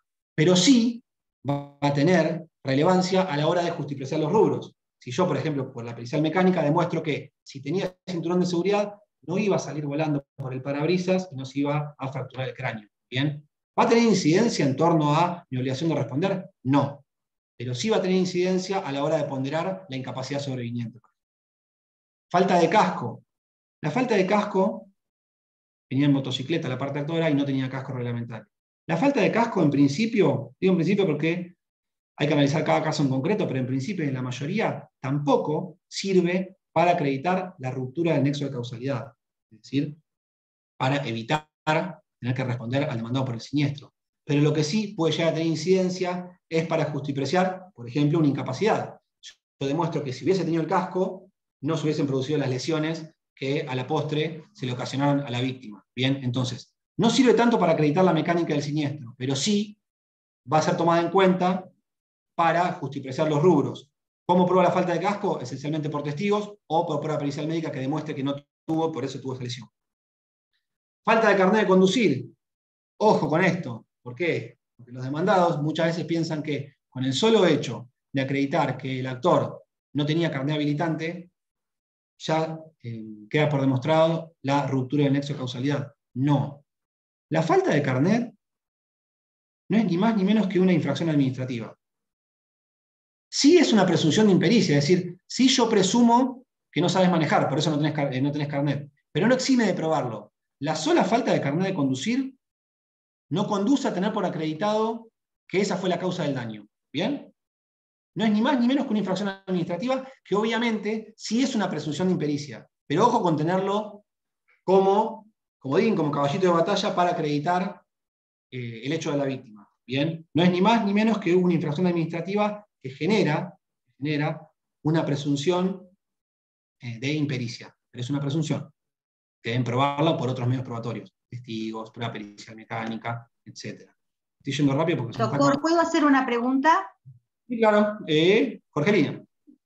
¿Qué tal? Sí, doctor. Cuando hablamos de em, no tener el carnet de conducir, perdón, estoy anotando así, ¿hablamos de carnet vencido pero que alguna vez se tuvo o el que mm. nunca lo tuvo? Te digo por el tema de los chicos que cuando tienen edad que empiezan a manejar, que roban el auto a los padres, este, hurtan o roban, no quiero utilizar.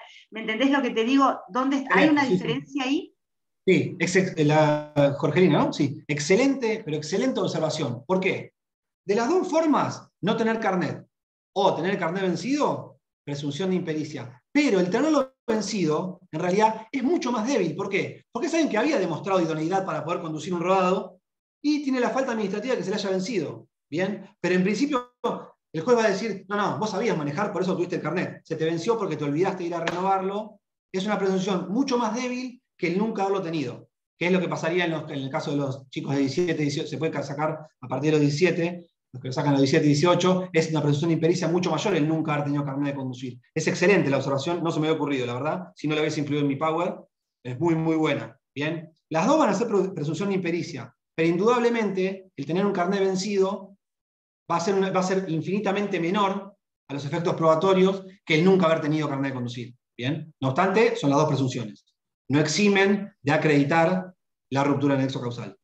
Perfecto. Te hice la acotación porque esto se lo debo al doctor Acosta, porque en su momento cuando él hizo su presentación acerca de presentación de demanda, habló de un caso de una persona que en el momento no tenía, perdón si me está escuchando el mm. doctor, no tenía el carnet para conducir moto, pero lo había tenido. Entonces estamos ante un escenario totalmente distinto. Y de ahí me quedó, viste, me quedó ese tema ahí este, pendiente. excelente observación, ¿eh? Y gracias por me la, me la introdujo, no se me había ocurrido, pero excelente observación. Bueno, muchas gracias. No, de nada. Supuestos particulares. Me tengo que apurar porque no voy a llegar, como siempre me pasa. ¿Qué pasa? ¿Por qué les traje colación esto? Porque estamos en parte demandada. Ustedes saben que la transmisión del dominio de un rodado no se configura con la sola tradición. Es decir, yo le vendo el auto a Jorgelina y se lo entrego, con eso es suficiente. ¿Qué pasa? La transmisión del dominio automotor es de tipo constitutiva. ¿Cuándo acaece? Cuando opera la transferencia en el registro automotor. Ahora bien, ¿qué puede suceder? Como la carga de transferir pasa en cabeza del adquirente, en este caso de la compradora de Jorgelina, puede suceder que yo le venda mi rodado, que Jorgelina, choque, ¿y qué pasa? Me van a venir a reclamar a mí. ¿Por qué? Porque soy quien figura como titular dominial, por ende responsable civil por los daños ocasionados por mi rodado. Frente a esto, para evitar que nos pase, se nos, se nos marque la vena en la frente como el muchacho de la foto, el legislador ya a fines de la década del 50 previó una posibilidad de eximirle al titular registral que vende un rodado, pero cuando no se hizo la transferencia aún, para eximirse de responsabilidad civil, le permitió realizar lo que llama una declaración unilateral, que es inscribir la denuncia de venta en el registro. Es una declaración unilateral por la cual yo comunico ante el registro automotor que me desprendí de mi vehículo, independientemente de que no se haya hecho la transferencia aún.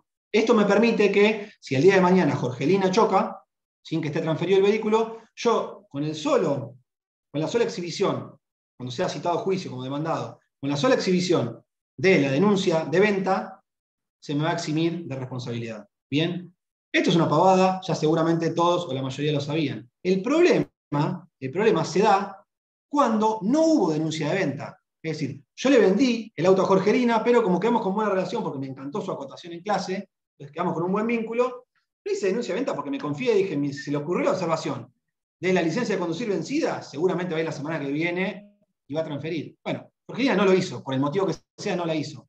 Y yo no hice denuncia de venta. ¿Qué pasa? Acá en principio yo debería responder. Y acá hubo contraposición de dos teorías. Una teoría restrictiva, restringida, que decía, la única manera de acreditar que uno se desprendió de la guarda del rodado, por más que no haya habido transferencia dominial, es haciendo la denuncia de venta. ¿Por qué? Porque así lo prevé el legislador y esto otorga seguridad jurídica. Tesis restrictiva. Por suerte, para los confianzudos como Patricio Oropo, que le vendió el auto a Jorgelina y no, hizo denuncia de venta, tanto la Corte de Nación, fallo Seoane, como la Corte de Provincia, fallo Copla, adhieren a lo que se llama teoría amplia. ¿Qué quiere decir? Si a mí me demandan un proceso judicial como titular dominial del rodado que ocasionó el accidente, yo no hice denuncia de venta, no importa. Puedo acreditar haberme desprendido del automotor por testigos, por prueba documental, si me firmó un recibo, etc., puedo acreditar igualmente que yo ya no era el titular del rodado, por más que figure como titular registral. ¿Bien? ¿Por qué es importante que lo sepan? Porque si les cae, ustedes calculan que son abogados, no les va a pasar porque van a hacer siempre la denuncia de venta, pero si les cae algún cliente que no la hizo, que no la hizo, sepan que tanto Corte de Nación como Corte de Provincia les permiten, les permiten acreditar que se desprendió del rodado por cualquier tipo de medio probatorio. Si tienen la denuncia de venta, ideal, con eso solo es suficiente. ¿Por qué? Porque el artículo 27 del decreto ley 6582 del 58 establece con, esa, con ese instrumento inscrito en el registro de la propiedad automotor, ya se acredita el desprendimiento del rodado y por ende no son responsables civilmente por los daños y perjuicios que se ocasionen por algún accidente de tránsito.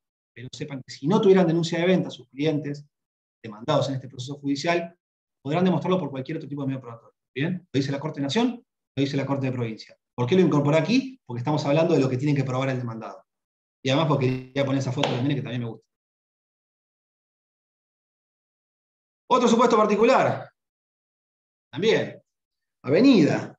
Si ustedes no conocen bien la norma de tránsito, ahora no tenemos tiempo, pero si, no, si estuviéramos en clase presencial, lo sometería a debate esto. Si ustedes no conocen bien la norma de tránsito, probablemente, si yo preguntara si, todos sabemos que quien conduce por la derecha tiene prioridad de paso. Bien. No obstante ello, esta prioridad de paso no es absoluta. ¿Qué quiere decir? Que hay una serie de excepciones que prevé la normativa de tránsito en los cuales la prioridad de paso cede. Bien. Si yo les digo, yo conduzco por la derecha por calle Castelli y viene alguien por Avenida Independencia, ¿quién tiene prioridad de paso? Seguramente todos me digan quién conduce por Avenida Independencia. Castelli. Ahí Martín me dijo Castelli, porque Martín lo sabe, está tomando mate. ¿Qué, Martín? No te había visto. Bueno, lo que dice es correcto, pero ojo. ¿Qué pasó? Hasta el año 2009, en la provincia de Buenos Aires, como les decía al principio de la clase, regía la ley 11.530, 430, perdón, que en su artículo 57 eh, preveía que algunas de las causales en las cuales se cedía esta prioridad de paso que tiene quien viene por la derecha era cuando el otro vehículo conducía por avenida. Fenomenal, no había ningún problema con la 11430, no había ningún inconveniente, era muy sencillo. El problema se suscitó a partir del año 2009. ¿Por qué? Porque yo les decía que a partir del año 2009 la provincia de Buenos Aires adhirió a la ley de tránsito nacional, la 24449. Y esta ley, cuando habla de la prioridad de paso, quien circula por la derecha, y de las excepciones en las cuales se pierde la prioridad de paso, no enumera la avenida no enumera la avenida. Entonces, fallo rearte de la Corte, se ha reeditado en otros varios siguientes. Ojo, quien circula por avenida no tiene prioridad de paso. ¿Por qué no tiene prioridad de paso? Porque no está incluido, no está incluida, perdón, dentro de las excepciones que prevé el artículo 41 de la 24449. No obstante ello, no se alarmen. ¿Por qué? Porque independientemente de quién cuenta con la prioridad de paso, los jueces no son ajenos a la realidad. Y por eso le cité fallo Salinas, que también es de la Corte, que es anterior al cambio de ley. El fallo ese de ahí abajo, que les recomiendo leer de la sala segunda, un voto del doctor Galdós, que actualmente está jubilado, pero que en eminencia en temas de responsabilidad civil. López con Esperati. ¿Qué es lo que dice? A ver, veamos. Es cierto, es cierto que quien conduce con avenida no tiene prioridad de paso si el otro venía por la derecha. ¿Sí? Yo no desconozco el texto legal, el artículo 41. Pero también también hay que ponderar otras cuestiones. Algunas de la ley de tránsito. Artículo 39. ¿Qué dice el artículo 39? Que todo aquel que llega a una encrucijada, es decir, un cruce entre arterias, debe disminuir su velocidad de manera de no perder el completo dominio del rodado. Primer artículo que tenemos que tomar en cuenta. Segundo artículo que tenemos que tomar en cuenta, velocidad precautoria. Hay que conducir a una velocidad dentro de los límites, obviamente, que prevé la ley, pero a su vez que me permita tener el completo dominio del rodado. Y tercer artículo, el 64, que es el que establece que uno debe circular, uno debe circular siempre, siempre evitando daños, evitando ocasionar daños. Y lo que le agrega el doctor Galdós, que es muy, muy interesante, que él dice, además de esto, además de esto, en el, en el imaginario no, sino que es una creencia popular, es que todos los que circulan por la avenida tienen prioridad de paso. Y esta creencia que tiene la sociedad toda, no solo no puede ser dejada de lado, sino que ni siquiera es descabellada. ¿Por qué? Porque fíjense que las avenidas hay mayor tránsito vehicular. Normalmente son doble mano. La velocidad permitida es mayor que en la de una calle. Por ende, ¿qué es lo que estableció la sala 2 de Azul en este fallo? Lo decía la Corte en Salinas en el 2005, independientemente de que actualmente quien conduce por avenida no tiene prioridad de paso, es decir, no cede frente a quien conduce por la derecha, también hay que analizar en contexto las restantes precauciones que hay que tener cuando uno eh, transita con un vehículo y a su vez que en la creencia de la sociedad toda, incluso nosotros que somos abogados, quien guía por avenida se considera con prioridad. ¿Por qué? Porque hasta puede conducir por una velocidad mayor y es una vía con mayor tránsito. ¿Bien? Por eso, más allá de que actualmente no haya, esto se lo traje a colación porque se les puede dar en, un proceso judicial, más allá que doctrina legal, fallo rearte, la conducción por avenida no es una excepción a la prioridad de paso, ¿por qué? Porque no está en el artículo 41, hay que analizar el caso en concreto y no soslayar esto que les digo, que es una vía de mayor jerarquía, que se puede conducir a mayor velocidad, que normalmente son de, doble tránsito, que tienen mayor dimensión, etc. Todas cuestiones que me pareció oportuno traer a colación por si se les presentan en juicio. Ahora sí, si no tenían la cara de Bernardo, de Juan, tienen la cara de Martín ahora que está con el mate, diciendo, callate un poco, Patricio, por favor, ya no te aguanto más. Bueno, Martín, tranquilo que faltan. Ah, no, 20 minutos, bueno, bastante bien. Bastante bien. Creo que presencial hubiese sido peor todavía. Sé que los tengo agobiados, pero presten atención porque todavía, todavía me toca la tercera parte, que es el rol del juez en el periodo probatorio. Bien, hasta ahora vimos rol del actor, en la demanda. Probar que se produjo el siniestro, probar los rubros, salvo un par que se presumen. Rol del demandado. Probar la ruptura del nexo causal, es decir, que el hecho de la víctima, de un tercero por el cual no debe responder, caso fortuito, fuerza mayor, rompan esa relación de causalidad entre el obra antijurídico y el daño. No importa la culpa, mal llamada culpa de la víctima. Actualmente en el Código Civil y Comercial se borró ese concepto. Es más claro. ¿Qué a su vez debe acreditar la parte demandada? Bueno, cuestionar la procedencia de esos rubros indemnizatorios. Tengan en cuenta el tema de falta de casco, falta de cinturón de seguridad, falta de carnet habilitante. Este último por ahí dejándolo de lado, pero los primeros no sirven para acreditar la mecánica del hecho, pero sí pueden ser tomados en cuenta para disminuir la procedencia de los rubros, ejemplo, incapacidad sobreviniente. Bien, y llegamos al tercer rol, la tercera y última parte de esta charla, que es el rol del juez. ¿Por qué pongo plan de realidad en los procesos civiles y comerciales? Porque a partir del 1 de agosto del año 2016, el Ministerio de Justicia y Derechos Humanos de la Nación, en forma conjunta con la Suprema Corte de la Provincia de Buenos Aires, idean un plan de generalización de la oralidad para todos los procesos de conocimiento, entre ellos, obviamente, los daños y perjuicios derivados de un accidente de tránsito. Actualmente, la mayor parte de los jueces de la provincia han adherido en forma voluntaria a este plan de oralidad. ¿Por qué les digo en forma voluntaria? Porque no es obligatorio. En el proyecto de reforma al Código Civil y Comercial, al Código, Procesal Civil y Comercial, ya sí está incluido en forma obligatoria. Pero hasta tanto vea la luz, no deja de ser voluntario. Sin perjuicio de ello, como les decía recién, la mayor parte de los jueces de la provincia han adherido en forma voluntaria. Lo aplican en Mar del Plata, creo que son 14 de los 16 juzgados o 13 de los 16 juzgados, aplican el plan de oralidad que esencialmente, esencialmente se aplica en el periodo probatorio. Por ende, por eso lo traje a colación aquí. Solamente se aplica la oralidad cuando se abre a prueba las actuaciones. No es para etapa postulatoria. ¿Por qué? Porque se entiende que la etapa postulatoria, confección del escrito de demanda, confección del escrito de contestación, requieren de una mayor eh, profundidad, por ende se hacen por escrito. Mayor pausa, mayor detenimiento. La parte probatoria, ya sí, el legislador ha decidido que se realice en forma oral.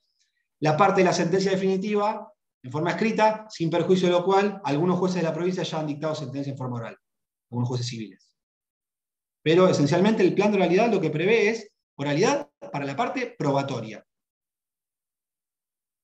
¿Qué es lo que se busca? ¿Qué es lo que buscaba el Ministerio de Justicia de la Nación y la Suprema Corte? Esencialmente tres cuestiones. Primero, aumentar la calidad de las decisiones jurisdiccionales.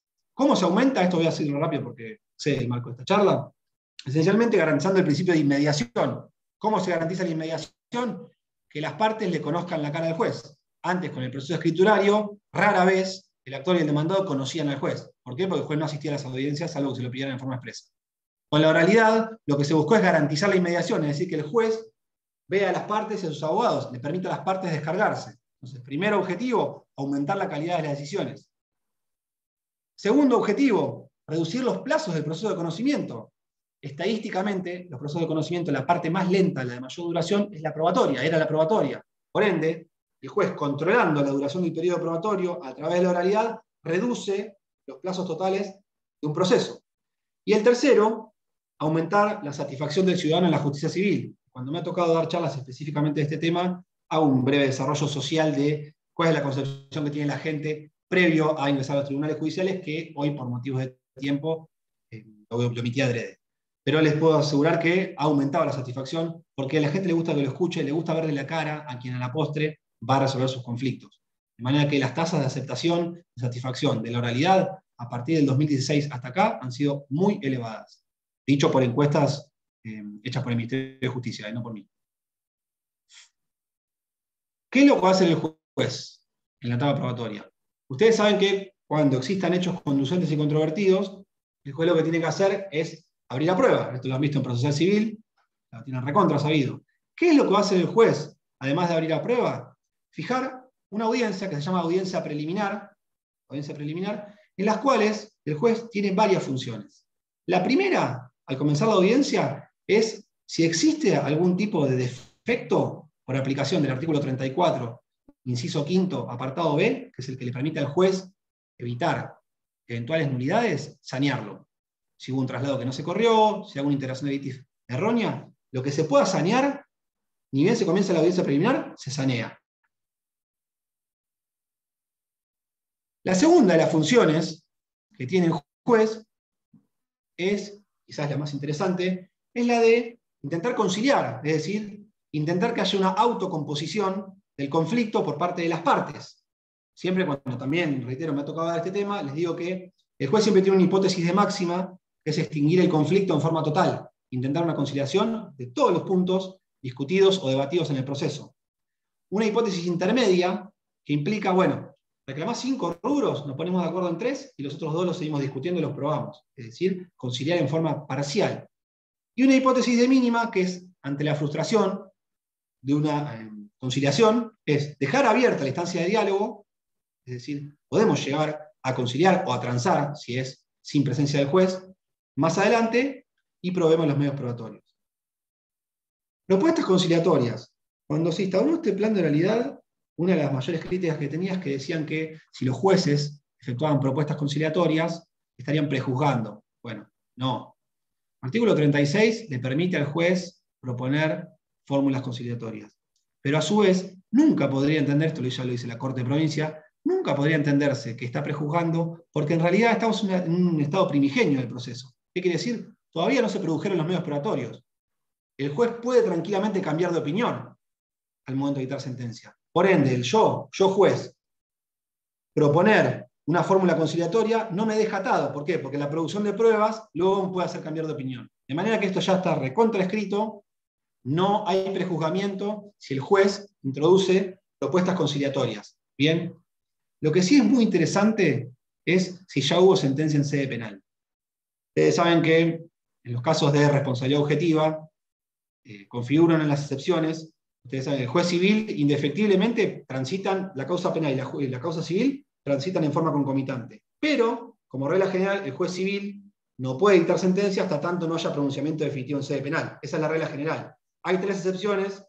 Una de ellas es que el supuesto debatido sea un supuesto de responsabilidad objetiva, accidente de tránsito. ¿Qué les quiero decir con esto? El juez civil podría dictar sentencia aún estando pendiente de resolución el proceso penal. No obstante ello, es muy interesante a los efectos conciliatorios, sobre todo, que ya haya sentencia en sede penal. ¿Por qué? Porque esta es una herramienta que le permite al juez eliminar algunas cuestiones debatidas. El hecho acaeció, sí, ya está aprobado en sede penal, yo no me puedo apartar. El juez civil no se puede apartar. Martín fue el que ocasionó el siniestro, sí, la autoría no se puede discutir. Bien, ya está aprobado esto. Esta sentencia en sede penal me permite tener acreditadas algunas cuestiones y me permite zanjar algunos de los hechos debatidos en el pleito. Por eso, por eso es de buena práctica, de buena práctica pedir, previo a la audiencia preliminar, copias certificadas de la, causa penal, para ver si hubo sentencia. Esto permite o favorece al juez la posibilidad de conciliar. Bien. Tercera las funciones que puede cumplir el juez. Esto en realidad hay que distinguir, y yo también explico, porque el protocolo, el protocolo de realidad, lo que dice es que si no se logra conciliar en la audiencia preliminar, el juez ahí debe abrir la prueba. Yo cuando lo he explicado, y la mayor parte de los jueces lo aplican, es que en realidad es, más, es conveniente, independientemente de lo que diga el protocolo, no deja de ser una herramienta que no ata al juez, el juez puede apartarse obviamente, es mejor abrir la prueba antes de la audiencia preliminar. ¿Por qué? Porque en procesos sumarios no hay problema, porque ustedes saben que los medios probatorios se ofrecen con los escritos constitutivos, con demanda y contestación.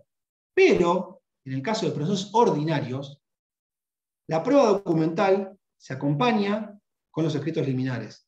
Pero el resto de los medios probatorios se ofrecen en una oportunidad posterior, que es dentro de los 10 días de firme el auto de apertura a prueba. Si yo, juez, abriera prueba en el momento de la audiencia, en el momento de la audiencia, tendría dos alternativas, decirle a las, partes, ofrezcan la prueba ahora, o suspenderla, dejarles que pase el plazo que prevé el código, cuando ofrezcan prueba tienen que volver a llamar a audiencia preliminar. Que creo yo que si decidiéramos tomar esta alternativa de abrir a prueba en el marco de la audiencia preliminar, esto es lo que deberían hacer.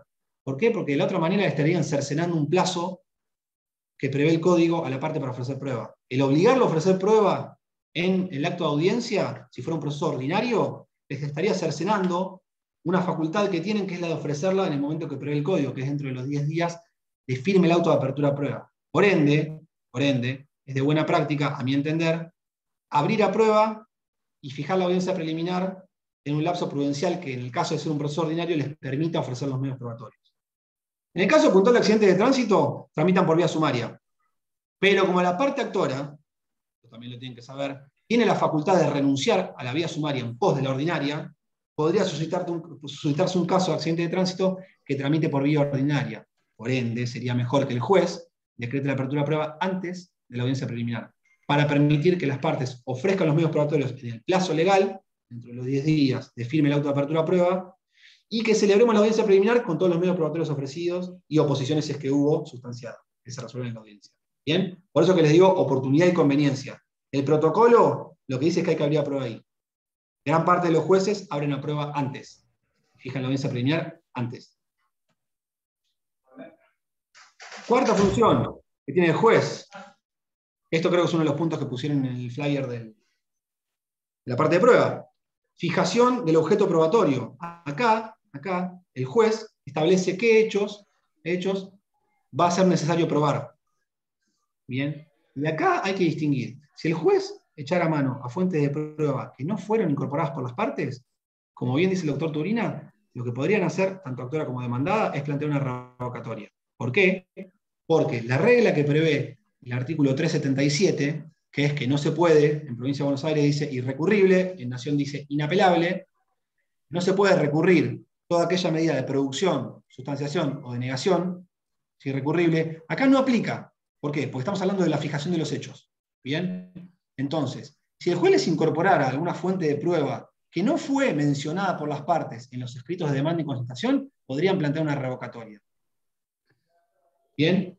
Y si a su vez, yo les puse apelación también, porque si a su vez el juez, el juez omitiera algún hecho que para actor o demandado debiera ser motivo de prueba, ustedes podrían apelar. ¿Por qué? Porque esto no es sobre denegación, producción o sustanciación de, medios probatorios, que es donde rige la inapelabilidad en nación y recurribilidad en provincia, sino es de la fijación del objeto a probar. Bien, entonces les reitero, si el juez introduce, cuando dice, bueno, vamos a probar esto, estos hechos A, B y C, introduce alguna fuente que no fue incluida, no fue mencionada en los objetos postulatorios, como él está prohibido averiguar las, las fuentes por fuera del proceso, revocatoria. Bien, revocatoria. Si el juez omitiera algún hecho que ustedes, actor o demandado, entienden debe ser probado, debe ser probado, pueden apelarlo. ¿Por qué es apelable? Porque en realidad esto no es sobre materia probatoria, sino sobre la fijación de los hechos que a la postre serán probados. ¿Bien? Eso es importante que lo tengan en cuenta. Normalmente los jueces por amplitud probatoria, como esto se charla en la audiencia, incorporan todos los hechos que las partes entienden que se deben probar y hay amplitud probatoria. ¿bien? Pero si les llegara a suceder en el marco de alguna audiencia preliminar, sepan que pueden contar con esto. Acto seguido va a proveer los medios probatorios. Lo que se busca también es la figura de los contratos procesales, que no son ni más ni menos que acuerdos entre actor, demandado y con intervención del juez en torno a la forma de producir cada uno de los medios probatorios. Y van a fijar una audiencia de vista de causa. sigue. Ah, no. Va a, fijar una audiencia de vista de causa que en principio no debe ser en un plazo mayor a los 90 días de celebrar la audiencia preliminar. Digo en principio porque esta es la pauta orientativa que establece el plan de realidad, pero las partes o el juez se pueden apartar sin ningún inconveniente. Bien. Algunas cuestiones en torno a medios probatorios que tienen en cuenta los jueces. En torno a prueba informativa, normalmente rige el principio de amplitud probatoria. Salvo que sea manifiestamente inconducente, se permiten el libramiento de informes, pero hay un supuesto muy particular que es cuando normalmente el demandado le desconoce la licencia de conducir a la parte actora. Para evitar el pedido de informes a la autoridad de aplicación, lo que se hace es, se le ordena exhibir la licencia en el marco de la audiencia, la parte demandada la reconoce y se tiene por desistida. Una particularidad para traer a colación de prueba informativa. De prueba pericial, prueba pericial, el juez, además de examinar cada uno de los puntos de pericia, puede ordenar reformular y puede incorporar puntos de pericia. Lo que no podría hacer, a mi juicio, porque estaría violando la igualdad entre las partes, es si, por ejemplo, lo que les decía hoy, reclamaron pérdida de valor venal, pero omitieron, al ofrecer la prueba pericial mecánica, preguntar si hubo pérdida de valor venal. El juez, a mi criterio, no debería incluirlo como punto de pericia, porque ahí estaría alterando la igualdad entre las partes. ¿bien? No obstante ello, tiene la facultad de incluir los puntos de pericia que estimen pertinentes. ¿bien? Eso no quiere decir que tenga que hacer abuso de sus facultades. Y lo que sí es muy importante, muy importante, sobre todo para la demandada o la aseguradora, es que si alguna de las partes ofrecen una pericia, de las cuales, a la contraria, le parezca que es manifiestamente improcedente o inconducente, manifestar el desinterés. A ver, si es un accidente de tránsito, que es lo que estamos hablando aquí, y Martín le ofrece una pericia en arquitectura de su departamento, es manifiestamente improcedente porque no tiene nada que ver con el litigio. Yo me podría oponer o bien podría manifestar mi desinterés. Y el juez, al momento de dictar sentencia, que ustedes saben que la prueba pericial es la única, el único medio probatorio que el juez está obligado a mencionar en los considerando de la sentencia, los demás medios probatorios los va a valorar, pero no necesariamente los tiene que volcar en la sentencia, las pruebas periciales sí, es obligatorio. Si el juez, si el juez no tomara en cuenta ese medio probatorio para la resolución del litigio, la prueba pericial en arquitectura, la parte que manifestó desinterés aun cuando resulte perdidosa, se exime a abonar las costas y rogadas por esa pericia. Es decir, pasándole el limpio. Me condenan a mí por el accidente de tránsito, por haberlo atropellado a Martín. Perfecto. Martín había ofrecido una prueba pericial en arquitectura. Yo manifesté desinterés porque me parecía que era manifiestamente inconducente. El juez, la jueza Jorgelina, no obstante ello, dijo, no, bueno, que se produzca igual, no tengo ganas de enroscarme discutiendo en la audiencia preliminar, que se produzca igual. Perdón, Jorgelina, pero la tengo inmediatamente abajo de mi cara. Se produjo, pero al dictar sentencia dijo, no, la verdad que sí, no servía para nada. En este caso, pero Patricio perdió el juicio. En este caso, yo debería afrontar el importe de condena, las costas, pero no tendré que abonar las irrogadas por esa prohibición en arquitectura. ¿Por qué? Porque manifesté mi desinterés. Esta herramienta es muy importante, muy importante. Manifestar el desinterés en la producción de una prueba pericial que ustedes consideren que es completamente innecesaria para la dilucidación del litigio. testimonial y confesional. Ojo, ¿por qué? Porque en el marco de la audiencia preliminar, el juez le va a preguntar qué quieren probar con cada uno de estos testigos que ofrecieron. ¿Qué es? ¿Un testigo presencial del siniestro? ¿Es para acreditar algún rubro porque es compañero de trabajo? Eh, ¿O algún conocido? Si asumen o no la carga de hacerlo comparecer, ojo con asumir la carga, porque asumen la carga de hacerlo comparecer y después no viene sin causa justificada, es un supuesto de caducidad probatoria concentración de todos los testigos para un mismo día, se toman todas las testimoniales en la audiencia de vista de causa, y se le aclara, se le aclara a las partes que los testigos van a ser interrogados en forma libre. ¿Para qué es esto? Para que si ustedes van a ofrecer algún testigo que no sea alguien que efectivamente vio el siniestro, que pueda dar fe, tengan cuidado, porque casi la totalidad de los jueces, por lo menos en Mar del Plata, interrogan en forma libre. Entonces lo pueden hacer pisar el palito. ¿Bien? Y otra cuestión que también se hace saber en la solución de posiciones, mal llamada confesional, es declaración de parte en realidad, la confesión es una consecuencia que puede darse o no, pero nuestro código lo prevé como prueba confesional o de absolución de posiciones, el juez también les aclara que va a interrogar en forma libre a las partes. Por eso es que en el 99% de los casos las partes la desisten. ¿bien? Pero si no lo desisten, tengan en cuenta, tengan en cuenta que en la audiencia de vista de causa, el juez puede interrogar a las partes en forma libre. ¿bien? Entonces, si su cliente no es muy hábil para mentir, por la duda déjenlo fuera. Y lo último, ¿sí? me quedan seis minutos, re bien. Y lo último, y lo último, y después ya dejamos espacio abierto a preguntas, o lo que quieran, es la audiencia de vista de causa, que les decía, esta segunda audiencia, segunda audiencia que se desarrolla eh, durante el periodo probatorio en un proceso de conocimiento, en cuyo interín, es decir, entre la audiencia preliminar y la vista de causa, la idea es que se produzcan la totalidad de los medios probatorios, a excepción de dos, la absolución de posiciones y la prueba testimonial, que, se van a ser, que van a ser llevadas a cabo en la audiencia de vista de causa, en donde también se van a evacuar eventuales pedidos de explicaciones que hayan sido efectuados a los peritos que hayan dictaminado con anterioridad. Bien, entonces, la idea del es que entre las dos audiencias no pasa un lapso mayor a 90 días. No obstante ello, el juez puede celebrar en un plazo menor o mayor de acuerdo a las circunstancias propias del proceso de conocimiento que se trate. A diferencia de esta audiencia preliminar, esta sí va a ser videograbada. La preliminar, que no lo dije, no se graba porque la idea es que haya un ámbito de confidencialidad entre partes y juez para debatir sin quedar mejor o peor parados que lo que estaban antes de la audiencia para intentar arreglar una conciliación. Esta segunda audiencia de vista de causa, el juez también va a intentar una nueva conciliación. No se va a grabar esa parte conciliatoria.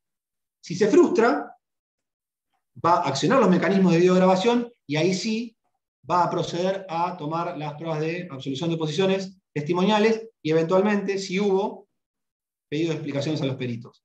¿Cuáles son los beneficios que da videograbar las audiencias? Para el juez, Imagínense que los jueces toman, por lo menos en Mar del Plata, toman un promedio de 14 o 15 audiencias por semana o más. Entonces, es imposible que al momento de sentenciar se acuerden de lo que declararon los testigos o de lo que declararon las partes al absolver posiciones. Por ende, la videograbación le permite reeditar lo que sucedió, analizar el lenguaje gestual. Y también tiene un beneficio para eventuales recursos, cámara o corte, quienes pueden analizar el lenguaje gestual de los testigos o de las partes. Por eso es que se videograba esta audiencia de vista de causa. A diferencia de la preliminar, que es completamente sin videograbación. Solamente se deja plasmado en un acta escrito lo que se acuerde. Bien. Una vez terminada la audiencia de vista de causa, se analizan qué medios probatorios se encuentran pendientes de producción y, en su caso, se decretan caducidades objetivas. No voy a explicar todos los supuestos de caducidad porque son varios, y los deben saber seguramente. O bien dejan parados a las partes que no tienen medios probatorios pendientes la posibilidad de acusar la negligencia a la contraria si es que ella sí tiene medios pendientes y ha sido decidiosa en su producción. Terminada la parte probatoria, se alega si fue un ordinario y si no, se llama autos para sentencia, se dicta sentencia y la parte más jugosa, cuando queda firme, se regulan los honorarios. Bien. Bueno, gente, hasta aquí creo que evacué más o menos a grandes rasgos con tres minutos de handicap, más o menos a grandes rasgos lo que tiene que hacer la parte actora, lo que tiene que hacer la parte demandada y el rol que ocupa el juez en el marco de eh, periodo probatorio en un daños y perjuicios por accidente de tránsito.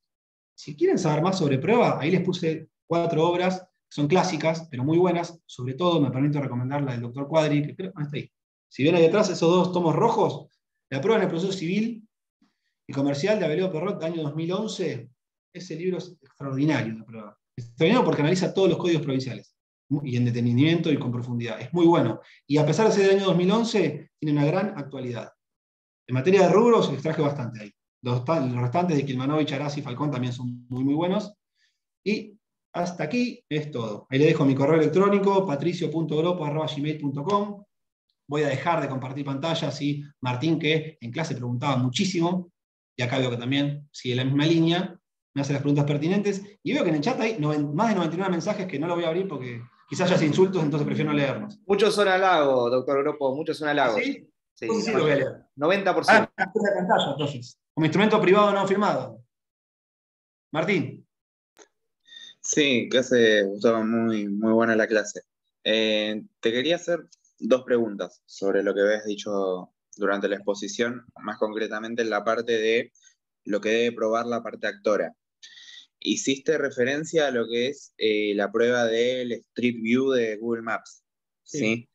Eh, mi pregunta es, ¿qué tan conveniente es acompañar eso como prueba? Porque me es también conocido que las imágenes del Street View muchas veces están desactualizadas y, y, hay muchas calles que no se ven. Por ejemplo, no sé, donde está la casa de mi mamá hay un terreno baldío en el Street View. Y otra prueba es cuando el tema de la privación de uso y hubo que recurrir a medios alternativos, vos dijiste que una de las, una de las pruebas que podías agregar era el boleto de colectivo. Hoy eh, no hay más boleto de colectivo, hay sistema SUBE, salvo el 221 acá en Mar del Plata. En ese caso, ¿qué prueba recomiendas que ofrezcamos? Por ejemplo, un oficio al Ministerio de Transporte, una informativa para que nos dé eh, los consumos de la tarjeta SUBE, no sé muy bien cómo. Bien, bien. Eh, respecto a Street View de Google Maps, son, como bien dijo Martín, son lo imágenes pretéritas, que son, ya figuran en la base de datos de Google. ¿Qué es lo que hizo Google? Tiene como autitos con cámaras que va filmando por todo el mundo está esto, ¿eh? que em, yo formo parte de un proyecto de investigación en la Católica de La Plata, que habla de la mm, intimidad, y cuestionamos un poco esto. Porque, por ejemplo, hay fotos de la puerta de la casa de mi mamá y mi mamá no prestó consentimiento. De manera que es bastante reprochable en torno a la privacidad de datos lo que hizo Google.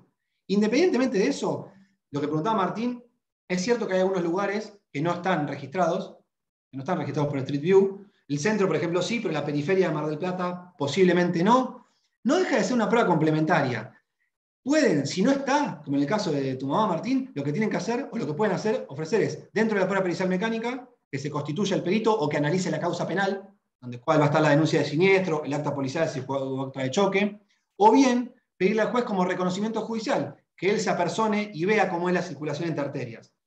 Yo incorporé lo Google Maps porque es algo relativamente novedoso, digo relativamente porque el, fallo que les decía Fleitas del año 2019 de la sala segunda de la Cámara de Morón, ya lo aplica hace tiempo, y porque además le permite a los jueces que están abarrotados de audiencias y de trabajo evitar tener que hacer reconocimientos judiciales. Pero si eventualmente no estuviera registrado, como es el caso que vos planteabas, reconocimiento judicial tranquilamente, o prueba pericial mecánica, uno de los puntos de pericia, pedirle al perito que diga cómo es la circulación, las calles, o si hay constancias en el en la causa penal o algún otro tipo de prueba documental o prueba testimonial. En relación a la privación de uso, es cierto que ahora no hay tickets, pero yo hace bastante no me tomo colectivo, debo decir la verdad, por eso también ni se me ocurrió, no se me planteó, pero sí, a la empresa de transportes, que calculo que cuando pasen una tarjeta magnética debe quedar registrado quién adquirió ese boleto, calculo que con algún tipo de pericia informática sobre la tarjeta también se debe poder arribar a si hubo algún viaje en, en esa fecha. No sé ¿sí? pidiendo un informe al Ministerio de Transporte. Hasta ahí no sé. Yo creo que lo que haría para demostrar sería, Matías dice que sí, yo lo que haría para demostrar sería pedirle como prueba documental en poder de, de la demandada de la compañía, de la empresa de transportes, que acompañe el detalle de todos los usuarios que viajaron ese día. Y ahí supongo que va a salir porque la tarjeta magnética deja registrado el nombre y quién pagó. Eso es movida. Y si no, como prueba pericial informática, que me auditen la, que me pericen, perdón, periten, perdón, la tarjeta sube. Yo creo que de esa manera varía. Pero bueno, estoy pensando ahora porque ya te digo, me quedé en cuando el boleto era, era papel.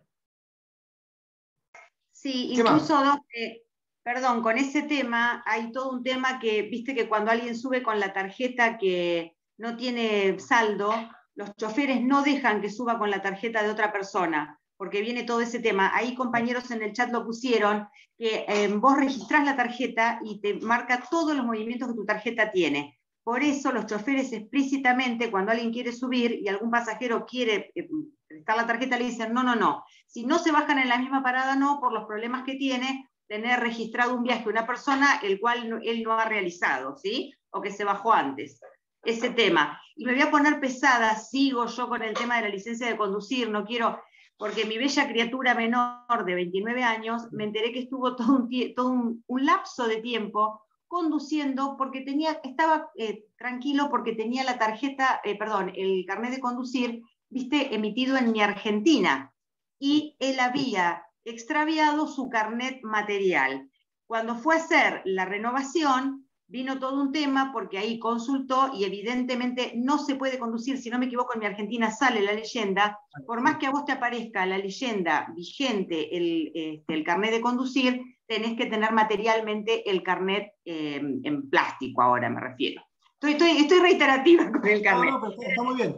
Lo que sí es importante tener en cuenta en torno a la falta de licencia o licencia vencida, lo que sea, que no deja de ser una presunción. Bien, no es prueba concluyente en torno a lo que buscamos acá, que es la ruptura del nexo causal, que es la actuación eh, idónea de la víctima para ocasionar el daño. Siempre tengan en cuenta eso. Lo que tiene que probar la demandada es que la actuación de la víctima, la víctima fue la causa única de producción del daño y que fue inevitable e imprevisible. El solo hecho de no tener carnet de conducir, aunque tenga 14 años, van a responder los padres, obviamente, civilmente, aunque tenga 14 años, no deja de ser una presunción de impericia.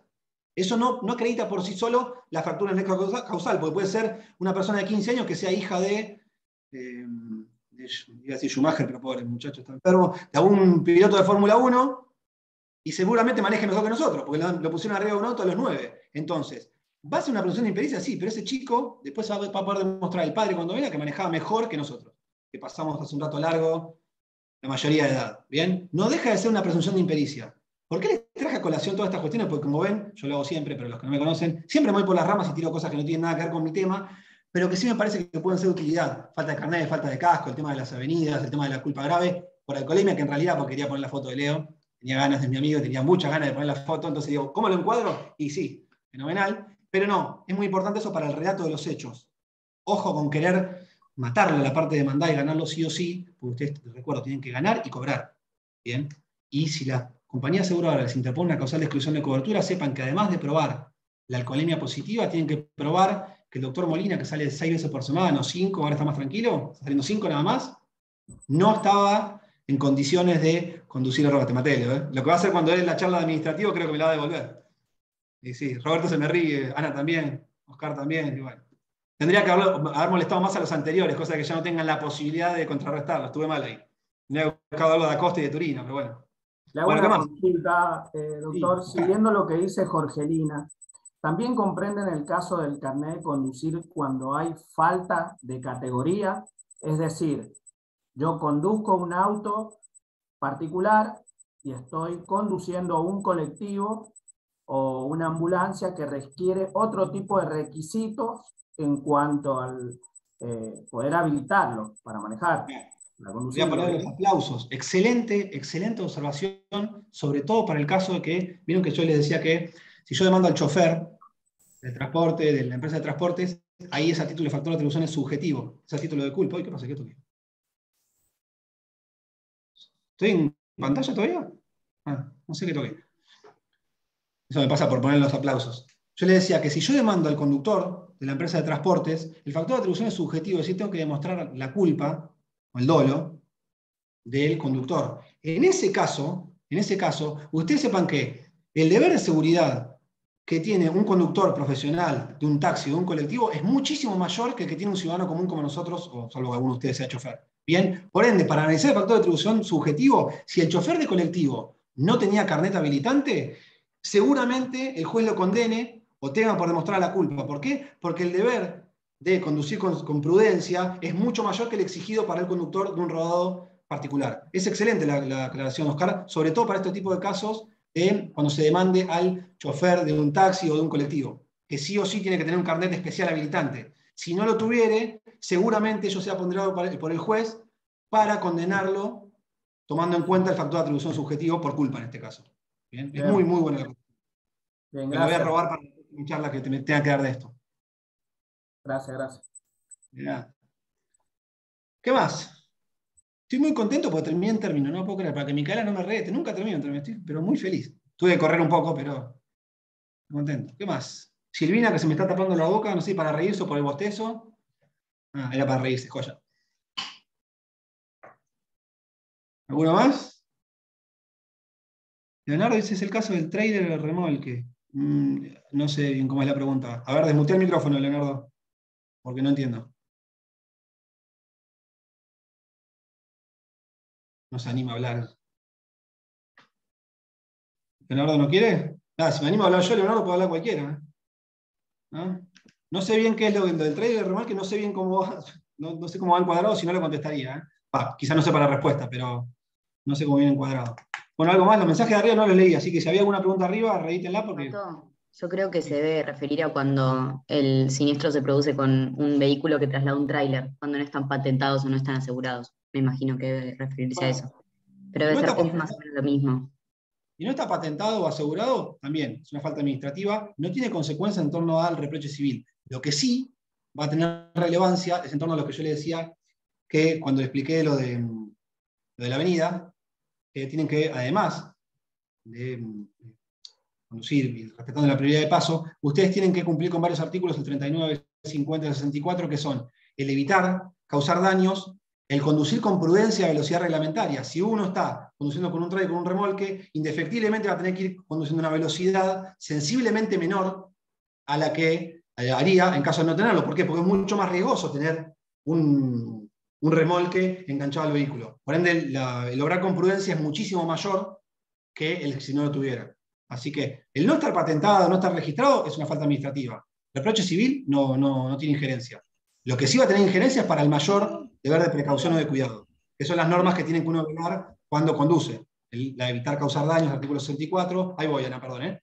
El conducir a una velocidad que le permita tener un completo dominio del rodado, artículo 54 de la 24449, que es la ley de tránsito nacional. Ana, sí. Tiene el teléfono muteado, el teléfono, el micrófono muteado.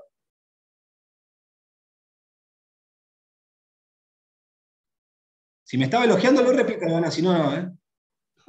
perdón, no, quería referir a lo que dijo el colega, que me parece que la pregunta se refería en cuanto a las categorías de la licencia de conducir, que tiene que tener una categoría para llevar un remolque o tráiler, sea el tamaño que sea. Ah, sí, sí, sí, sí. Lo mismo, es lo mismo que ahí. Es un supuesto similar al del chofer de colectivo. Para uno poder llevar un. Tiene que tener un carnet habilitante, si no tiene, seguramente sea ponderado por el juez para um, reprochar la conducta del, conductor. Claro, y además es considerado falta grave, por más que si no tiene la categoría correspondiente, igualmente. Es como conducir sin registro, lo mismo. Exacto. Lo que puso Pedro ahí, Pedro Laizola, excede el marco de la prueba, pero me encanta porque yo tengo un amigo que no sé si está conectado, Manuel Jaramillo, y el hermano, Emilio Jaramillo, con los cuales hemos escrito un par de artículos de accidente de tránsito, y en uno de los cuales nos referimos a la obligación legal autónoma. ¿Cuándo se da la obligación legal autónoma? Se fue el número de artículo ahora, si no se los diría. Cuando hay un accidente de tránsito, la compañía aseguradora está obligado a abonar a la víctima independientemente de lo que suceda, ¿eh? salvo que, no hubiera pagado, que el asegurado no hubiera pagado en término la, la prima, sino tiene que abonar sí o sí gastos sanatoriales o funerarios si es que hubo deceso de la víctima. Eso se reclama independientemente del proceso judicial, es de, pago inmediato. Que la superintendencia de seguro fija un monto, pero ya en la justicia se ha dicho que ese monto es inconstitucional. No me acuerdo cuál es el monto, pero se puede cuestionar judicialmente. ¿Pero qué es la OLA o la obligación legal autónoma? Cuando hay un accidente de tránsito, la compañía de seguros a la víctima le tiene que abonar sí o sí en forma inmediata, independientemente de las causales que le vaya a poner después a su cliente, salvo no pago, le va a tener que abonar indefectiblemente los gastos sanatoriales o funerarios. Hay que tener cuidado de no reproducirlos después, si se los abonaron, no reproducirlos en juicio, porque si no habría un enriquecimiento sin causa. Estaríamos cobrando por el mismo supuesto dos veces.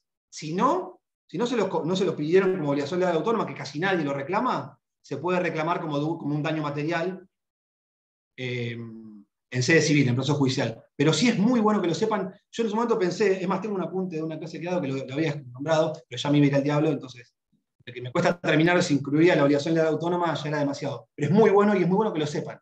Bien, entonces reitero, se demuestra el accidente, la compañía de seguros, la compañía de seguros del demandado, del que iba a ser demandado en este caso, tiene que abonar inmediatamente los gastos sanatoriales y funerarios. Solamente se exime si prueba que no hay, obviamente, no hay contrato, falta de pago. Todas las demás causales de exclusiones no se las puede poner la víctima en ese momento. Lo tienen que pagar sí o sí. Y el monto que establece la, la superintendencia que no me acuerdo ahora en este momento cuánto es, es inconstitucional. Lo pueden cuestionar. el de Pablo, el Pedro, también, excelente, excelente observación, ¿eh? muy, pero muy buena. No podríamos duplicar el rubro, obviamente. Si me lo pagaron, no lo vayan a reclamar de vuelta, porque ahí habría un enriquecimiento sin causa, estaríamos intentando cobrar dos veces lo mismo. Eh, Ivana, tiene la mano levantada.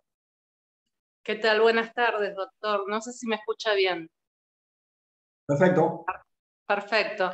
Eh, tengo una duda. Eh, en realidad, hoy usted estuvo hablando de la ley de tránsito. Por lo que tenía yo entendido, la ley de tránsito en Capital Federal, eh, la prioridad de la derecha es eh, siempre, o sea, siempre la prioridad es de la avenida, en Cava. tengo entendido eso.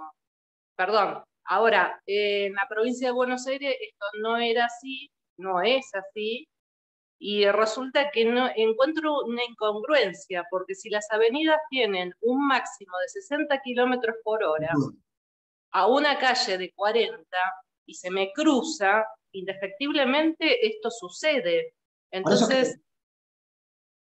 Sí, perdón, no te quise interrumpir, perdón. No, no, a, eso iba, ¿no? Eh, digamos, realmente no le encuentro cómo es que esto está permitido, Sí, sé, tenemos que ir con las pericias, si llegó a cruzar, si no llegó a cruzar, de qué lado fue, pero también tenemos que si se te cruza una moto, al ser vehículo menor, también eh, va en contra del pobre tipo que va por la avenida y se le cruzó la moto sin casco, sin luces, sin espejos. Esto yo lo veo diario estoy, ¿no? Sin duda, es, por eso que les hacía la observación, que en provincia de Buenos Aires antes no había ese inconveniente porque el artículo 56, inciso segundo, apartado C, preveía como causal de excepción a la prioridad de paso de derecha el que, vía, el que decía conduce por avenida o una vía de mayor jerarquía, así decía la ley provincial. Cuando adherimos, cuando adhirió la provincia de Buenos Aires a la nacional, en las excepciones no dice, lo que decía era semiautopista, y nadie, yo no sé qué es una semiautopista hasta ahora, pero la Corte de Provincia, cuando analizó este supuesto, dijo, no, que es rearte el, doctrina legal, después se mantuvo, fue en voto en mayoría, no fue unánime, no me acuerdo en este momento los ministros que votaron en mayoría, dijeron que no. Pero no obstante ello, para mí también es una barbaridad, pero no obstante ello, por eso les puse el fallo de la sala segunda de la Cámara de Apelaciones de Azul, no obstante no tener prioridad de paso, según la ley de tránsito, porque la avenida no está incluida en forma expresa, analizando en conjunto lo que vos decías, es una vía de mayor jerarquía porque es más amplia, generalmente de doble mano. El máximo permitido de velocidad es bastante, es, em, bastante mayor al de calle, porque es 60 y 40. Y a claro, su vez, lo que yo hacía énfasis es que la sociedad toda, vos sos un ejemplo, pues lo está diciendo ahora, yo también, y seguramente todos los que estamos acá coincidamos, todos, independientemente de lo que diga la ley de tránsito, todos consideramos que la de paso la tiene quien conduce por avenida. De manera que si se plantea en un juicio, la doctrina legal de la Corte de Provincia es que no es una excepción a la prioridad de paso. Pero no obstante ello, hay que analizar en conjunto y seguramente van a decir, no, bueno, para, para, es verdad, no está en la ley de tránsito, pero analizando en contexto las probanzas de autos, se puede ir más rápido, es una vía de mayor jerarquía, es doble mano, es más amplia, seguramente eh, se le exima la responsabilidad. Es pero, habría que ir por jurisprudencia. Sí, agregando un punto a lo que estabas diciendo, eh, Lorenzetti también, al hablar de algunos fallos de corte que no son doctrina legal, pero que han tratado este tema, dicen que a la luz del Código Civil y Comercial, con el diálogo de fuentes que hay, teniendo en cuenta la costumbre en materia de circulación por avenida, también, no sé si eximir totalmente de responsabilidad, pero tomado como con causa y lo han eh, tenido en cuenta al momento de justipreciar los daños. Hay un libro de que me de Carlucci, de Derecho de Tránsito, que lo trata, está, está muy bueno porque es, jurisprudencia de corte suprema, no es doctrina legal, pero, pero lo han tenido en cuenta. Le digo, este fallo de azul, ya digo, me comprometo a, si puedo antes del martes, pero como estoy medio ah, complicado. Pero eh, entonces hay que manejarse por jurisprudencia únicamente. No, lo que tendrás que alegar si te toca este supuesto bueno, la verdad, no tenía prioridad de paso, pero fíjense, primero prueba testimonial que declaren los testigos, y además fíjense que ya la sociedad en su conjunto echa mano este fallo López, que es el de la sala 2, si querés, y Salinas, que es un fallo anterior de la Corte, en el cual se pueden extraer esos argumentos, es siempre justo no contar con prioridad de paso, porque también recuerden algo, que no, creo que no lo dije. El tener prioridad de paso no es un mil de indemnidad, no es como yo voy por la derecha puedo cerrar los ojos y manejar tranquilo. No, no. Así lo hacen acá, por eso te lo planteo. Claro, no, no, pero no eso, lo dicen las dos cortes. No es un bill de indemnidad, dice la corte. ¿Qué quiere decir? Que por la derecha no puede llevarse puesto todo lo que viene. Hay que respetar las normas de tránsito en su conjunto. Es, ante caso de duda, el que tiene la derecha se exime de responsabilidad. Pero no es un bill de indemnidad. Si yo demuestro que yo venía a 60, que es la velocidad reglamentaria, con una vía de mayor jerarquía, venían todos igual, y este se mandó a cruzar, seguramente el juez me exima de responsabilidad. El tema es que, como no está expresamente normado en la ley, me va a obligar a hacer un esfuerzo probatorio, como bien decía Martín, este diálogo de fuentes me va, a obligar a hacer un esfuerzo probatorio destacándolo. Pero seguramente va a fallar a favor. El fallo este de la sala 2 es muy, muy bueno en ese sentido. Muy, muy, bueno. Ojalá, ojalá nos pueda pasar, Sí, sí, no, no. la otra pregunta, si no es mucha molestia, es eh, cuando se te adelantan por derecha, en la misma situación, moto, vehículo menor, eh, a vos te puede llegar a hacer producir otro accidente. Culpa de un tercero. Claro, eh, ¿cómo haces en esta? En ese caso vos tendrías que, cuando sos demandado, tendrías que citar como tercero al que te pasó por la derecha para demostrar que la responsabilidad del siniestro fue él. Es un, el, el, siniestro se ocasionó por responsabilidad de un tercero por el cual yo no debo responder. Si Martín, en lugar de adelantarme por izquierda, que es lo que prevé la norma de tránsito, me adelanta por derecha, y eso motivó que yo no pudiera ver a Micaela, Micaela me demanda a mí que yo choqué. Yo cito como tercero al que adelantó por derecha para demostrar que es un excelente de responsabilidad. Es una ruptura del nexo causal por un hecho de un tercero por el cual yo no debo responder. Lo mismo la salida de un garage cuando, cuando vos vas pasando y producís un accidente. Eh, hay mil ejemplos. O el que abre la puerta del auto sin mirar para atrás. Hay... Lo que tiene bueno accidente de tránsito es que hay 80.000 y en Argentina, que Nino decía que el deporte, principal en Argentina es violar la ley, decía Carlos Nino. En, Argentina manejamos, sí, en serio, en Argentina manejamos pésimo, entonces damos tela para cortar, hay 80.000, podríamos estar cuatro horas hablando de los eventuales posibles accidentes de tránsito que... Bueno, mil gracias, doctor. La verdad, felicitaciones por su disertación, excelentemente claro. La única duda que tenía. Muchísimas gracias. Perdón si tuve que ir un poco rápido, pero era demasiada información, no quería que me quede nada en el tintero. Y tampoco quería dejar de hacer chistes a mis amigos, que es lo que más me gusta en todas las charlas, que siempre lo hago. a presencial soy un poquito más divertido, no mucho, pero un poquito más divertido. Acá intenté hacer lo que pude mirándome la cara que no es algo muy agradable. yo hoy, no pude realmente poner la cámara, lo lamento. Muchísimas gracias. Nada. Bueno, ¿algo más? Tengo, en, el WhatsApp tengo exactamente 87 mensajes. No, sé si serán de alguno de los, de los, coordinadores o de otros, no los vi. Ah, Leo, me debe estar insultando, me debe estar diciendo de todo. No los vi, ¿eh? 83, no los vi. Eh, no sé si hay que dar cierre, ustedes yo no tengo drama, ¿eh? Mica. Hasta las 9. Le estamos pidiendo que, corte ya. Ah, que corten, perdón. No, no, es un chiste. No, eh, bueno, vamos a dar por finalizada la clase, entonces si no hay más consultas. Eh, bueno, muchas gracias, doctor Gropo, de los mejores docentes que he tenido. Me voy a sacar el sombrero, un segundito, ya te dejo hablar. Eh, muy divertido, muy didáctico. He escuchado que le han puesto showman en los mensajes de acá del Zoom, así que se puede dar por aludido que hace las clases muy didácticas, yo estaba con miedo porque sé que cuando está corto de tiempo se pone en 2.0 como en WhatsApp y hay que seguirlo, pero has estado muy medido. Eh, no sé si quieres agregar algo más, Pato. No, sí decirles que, bueno, en la última filmina puse, mi dirección de correo electrónico es patricio.gropo con doble p, arroba gmail.com. Yo, salvo que me pregunten por una causa judicial puntual, que no contesto por una cuestión de ética lógica, y menos aún si tramitan el juzgado 13 que es donde trabajo, siempre intento evacuar consultas, no quiere decir que vaya a tener la respuesta adecuada o no quiere decir que vaya a ser lo que ustedes quieran escuchar, pero siempre estoy muy abierto. Si me mandan correos electrónicos con consultas, prometo intentar evacuarlas. Contestar seguro. Lo que no sé poder intentar, eh, lograr evacuar las consultas. Y abierto a lo que necesiten. Muchísimas gracias a Leo, a Micaela, al doctor Martínez Bordaisco por la invitación. Espero que me vuelvan a invitar alguna vez. Me invitan cada un año y medio, dos años, para que la gente descanse de esta intensidad. Pero bueno, espero alguna vez volver a encontrarnos. Ahora te vamos a traer más seguido, ¿eh? Te vamos a traer más seguido. Con los mensajes del chat, te vamos a traer más seguido. Bueno, muchas gracias. ¿eh? Te subieron el ego. Y a, todos los participantes, gracias bueno, por el respeto y, veo los elogios que le están repartiendo por todos lados.